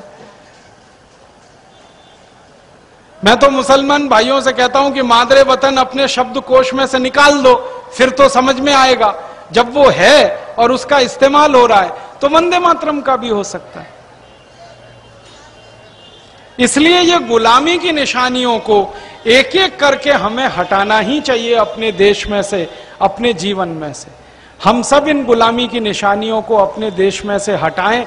इसके लिए ये भारत स्वाभिमान अभियान हमने शुरू किया है। और इस अभियान के तहत सारे देश में हम लोग एक प्रयास कर रहे हैं। आपसे भी मेरी एक विनती है वो ये कि इस हमारे भारत स्वाभिमान अभियान में आप सब लोगों का हमें सहयोग चाहिए। ये सब काम हम करना चाहते हैं आपके सहयोग से। आप बोलेंगे, क्या सहयोग करें? आप हमारे भारत स्वाभिमान के सदस्य बनिए, मेंबर बनिए। और ज़्यादा से ज़्यादा हमें मेंबर बनाने पाँच करोड़ लोगों को हम देश में इसका सदस्य बनाना चाहते हैं।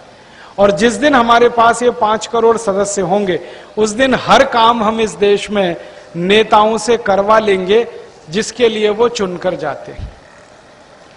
भारत के नेताओं की कुल संख्या चार करोड़ है।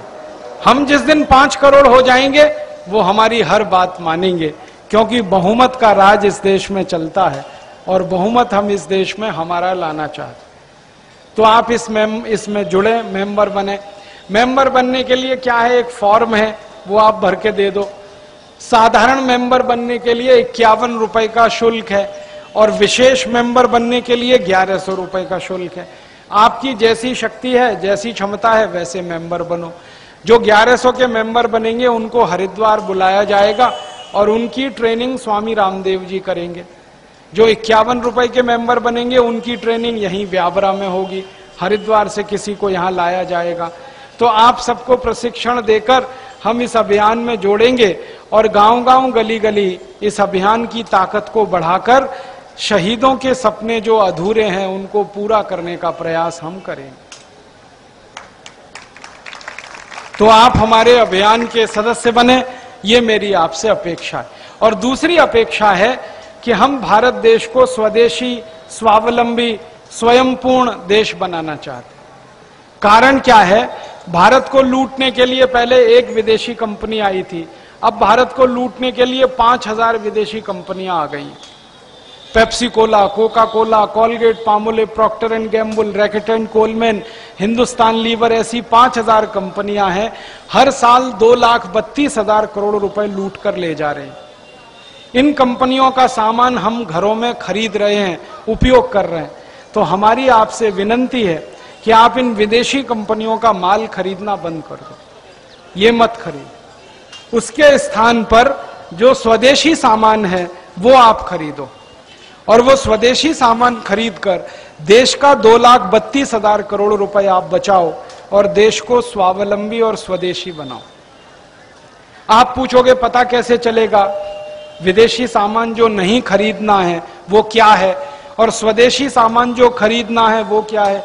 उसके लिए एक सूची बनाई है परम पूजनीय महाराज जी की एक पुस्तक है, उसका नाम है जीवन दर्शन। उस पुस्तक के पीछे के पन्ने पर ये आप जरा दिखा दो सबको। ये जीवन दर्शन पुस्तक है। स्वामी जी ने लिखी है, मात्र ग्यारह रुपए की मूल्य की है। इसके पीछे के पेज पर स्वदेशी विदेशी वस्तुओं की सूची छपी है। पेज नंबर 115 एक तरफ़ लिखा है, विदेशी वस्तुएँ कौन सी? दूसरी तरफ़ लिखा है, स्वदेशी वस्तुएँ कौन सी? ये पुस्तक आप घर में रखो। जब भी बाज़ार जाओ तो इसको पढ़कर जाओ और जो स्वदेशी वस्तुएँ हैं, वही खरीद कर लाओ, ताकि देश का दो लाख बत्तीस हज़ार करोड़ रुपए बच सके। विदेशी कभी भी मत खरीद कर लो। महात्मा गांधी ने स्वदेशी आंदोलन किया था। लोकमान्य तिलक ने स्वदेशी आंदोलन किया था। और उस आंदोलन की ताकत से एक विदेशी कंपनी को हमने भगा दिया था। अब फिर स्वदेशी आंदोलन करेंगे तो पाँच हज़ार कंपनियों को हम भगा सकेंगे और देश की आज़ादी बचा सकेंगे।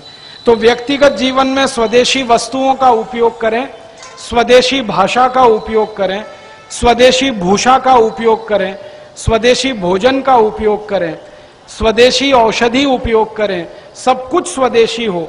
और सार्वजनिक जीवन में व्यवस्था परिवर्तन के काम में हम सहयोग करें। यही दो अपेक्षाएँ हैं भारत स्वाभिमान की आपसे। उम्मीद है कि आप इन अपेक्षाओं को पूरा करेंगे और इस अभियान को सफल और सार्थक बनाएँगे। मैंने जो बातें आपको कही हैं, ये सारी बातें करीब सत्तर घंटे में कह सकता हूँ। इतना शोध मैंने किया है कि इस विषय पर सत्तर घंटे व्याख्यान में दे सकता हूँ। लेकिन मेरी समस्या यह है कि मैं सत्तर घंटे रुक नहीं सकता, आप सुन नहीं सकते। तो मैंने क्या किया है, सत्तर घंटे की सीडी बनाई है, मेरे भाषण की। एम थ्री है। वो सीडी इधर पड़ोस में, बाजू में मेरा कार्यकर्ता है, उसका नाम है सचिन, उसके पास है। आप वो सीडी ले सकते हैं और उसकी दो चार कॉपी लेके हज़ारों कॉपी उसकी बना सकते हैं कंप्यूटर से। आप उसकी हज़ारों कॉपी बनाइए और ब्यावरा के एक एक घर में बांटिए। मैं कभी भी आपसे मुकदमा लड़ने नहीं आऊँगा, क्योंकि सीडी पर मेरा कॉपीराइट नहीं है। सबको कॉपी करने का मेरी तरफ़ से राइट है। मैं मानता हूँ कि ज्ञान पर किसी का अधिकार नहीं होता। मैंने कहीं से ज्ञान लिया, आपको दिया। आपने मुझसे लिया, किसी और को दिया। ज्ञान बांटने से बढ़ता है। इसलिए भारत ज्ञान बांटने वालों का देश है। इसलिए कॉपी राइट मेरा सीडी पर नहीं है। आप थोड़ी दो चार दस सीडी खरीद लो, हज़ारों कॉपी बना बना के गली गली गाँव गाँव घर घर बांट दो। मुझे बहुत खुशी होगी, बहुत प्रसन्नता होगी। और ये सीडी सब लोग सुनेंगे तो उनको सारा विचार अच्छे से समझ में आएगा और इस भारत स्वाभिमान के साथ जुड़ेंगे। तो बहुत जल्दी इस देश का वो काम पूरा हो जाएगा। जो 1947 में होना चाहिए था, जिसको पूरा होने के लिए बासठ साल हमें इंतज़ार करना पड़ा। अब और इंतज़ार हम नहीं करेंगे और इस काम को पूरा करके ही अपने अभियान को सफल और सार्थक करेंगे। ये बात कहकर मैं आभार व्यक्त करता हूँ, धन्यवाद देता हूँ। मुझे किसी ने एक पर्ची दी है कि देशी खाद बनाने की विधि बताएँ। हम लोग खेत में अगर खेती करें तो यूरिया ना डालें, डीएपी ना डालें। उसकी जगह गोबर की खाद डालें। वो बहुत आसान है। एक एकड़ खेत के लिए पंद्रह किलो गोबर ले लें, पंद्रह लीटर गोमूत्र ले लें, एक किलो गुड़ ले लें, एक किलो दाल का आटा ले लें और एक किलो पीपल के पेड़ के नीचे की मिट्टी या बरगद के पेड़ पेड़ के नीचे की मिट्टी। पंद्रह किलो गोबर, पंद्रह लीटर मूत्र, एक किलो गुड़, एक किलो दाल का आटा एक किलो मिट्टी। ये सब मिला के ड्रम में रखें। पंद्रह दिन तक दाल कोई भी अरेर की दाल, मूंग की दाल, उड़द की दाल, चने की दाल, कोई भी दाल। पंद्रह किलो गोबर, पंद्रह लीटर मूत्र, एक किलो गुड़, एक किलो दाल का आटा, एक किलो मिट्टी। ये सब मिलाकर एक ड्रम में डाल दें। और उस ड्रम को पंद्रह दिन तक छाव में रखें। सूरज की धूप में न रखें, छाव में। पंद्रह दिन बाद खाद तैयार हो जाती है। फिर उसमें 200 लीटर पानी मिलाएँ और पानी मिलाकर जो घोल तैयार हुआ, उसको खेत की मिट्टी पे छिड़क दें। अगर खेत खाली है तो सीधे छिड़क दें। खेत में फ़सल खड़ी हो तो पानी के साथ उसको डाल दें। जब पानी लगाते हैं फ़सल में, उसी के साथ ये मिला दें। ये खाद जब मिट्टी में चली जाती है, ज़बरदस्त उत्पादन आता है। मैंने पिछले पंद्रह साल में पचास हज़ार किसानों को ये बात बताई। और जो जो किसान ने ये खाद बनाकर खेत में डाली है, उनको बहुत उत्पादन मिल रहा है। पहले जो किसान यूरिया डालते थे तो एक एकड़ में तीस टन गन्ना होता था।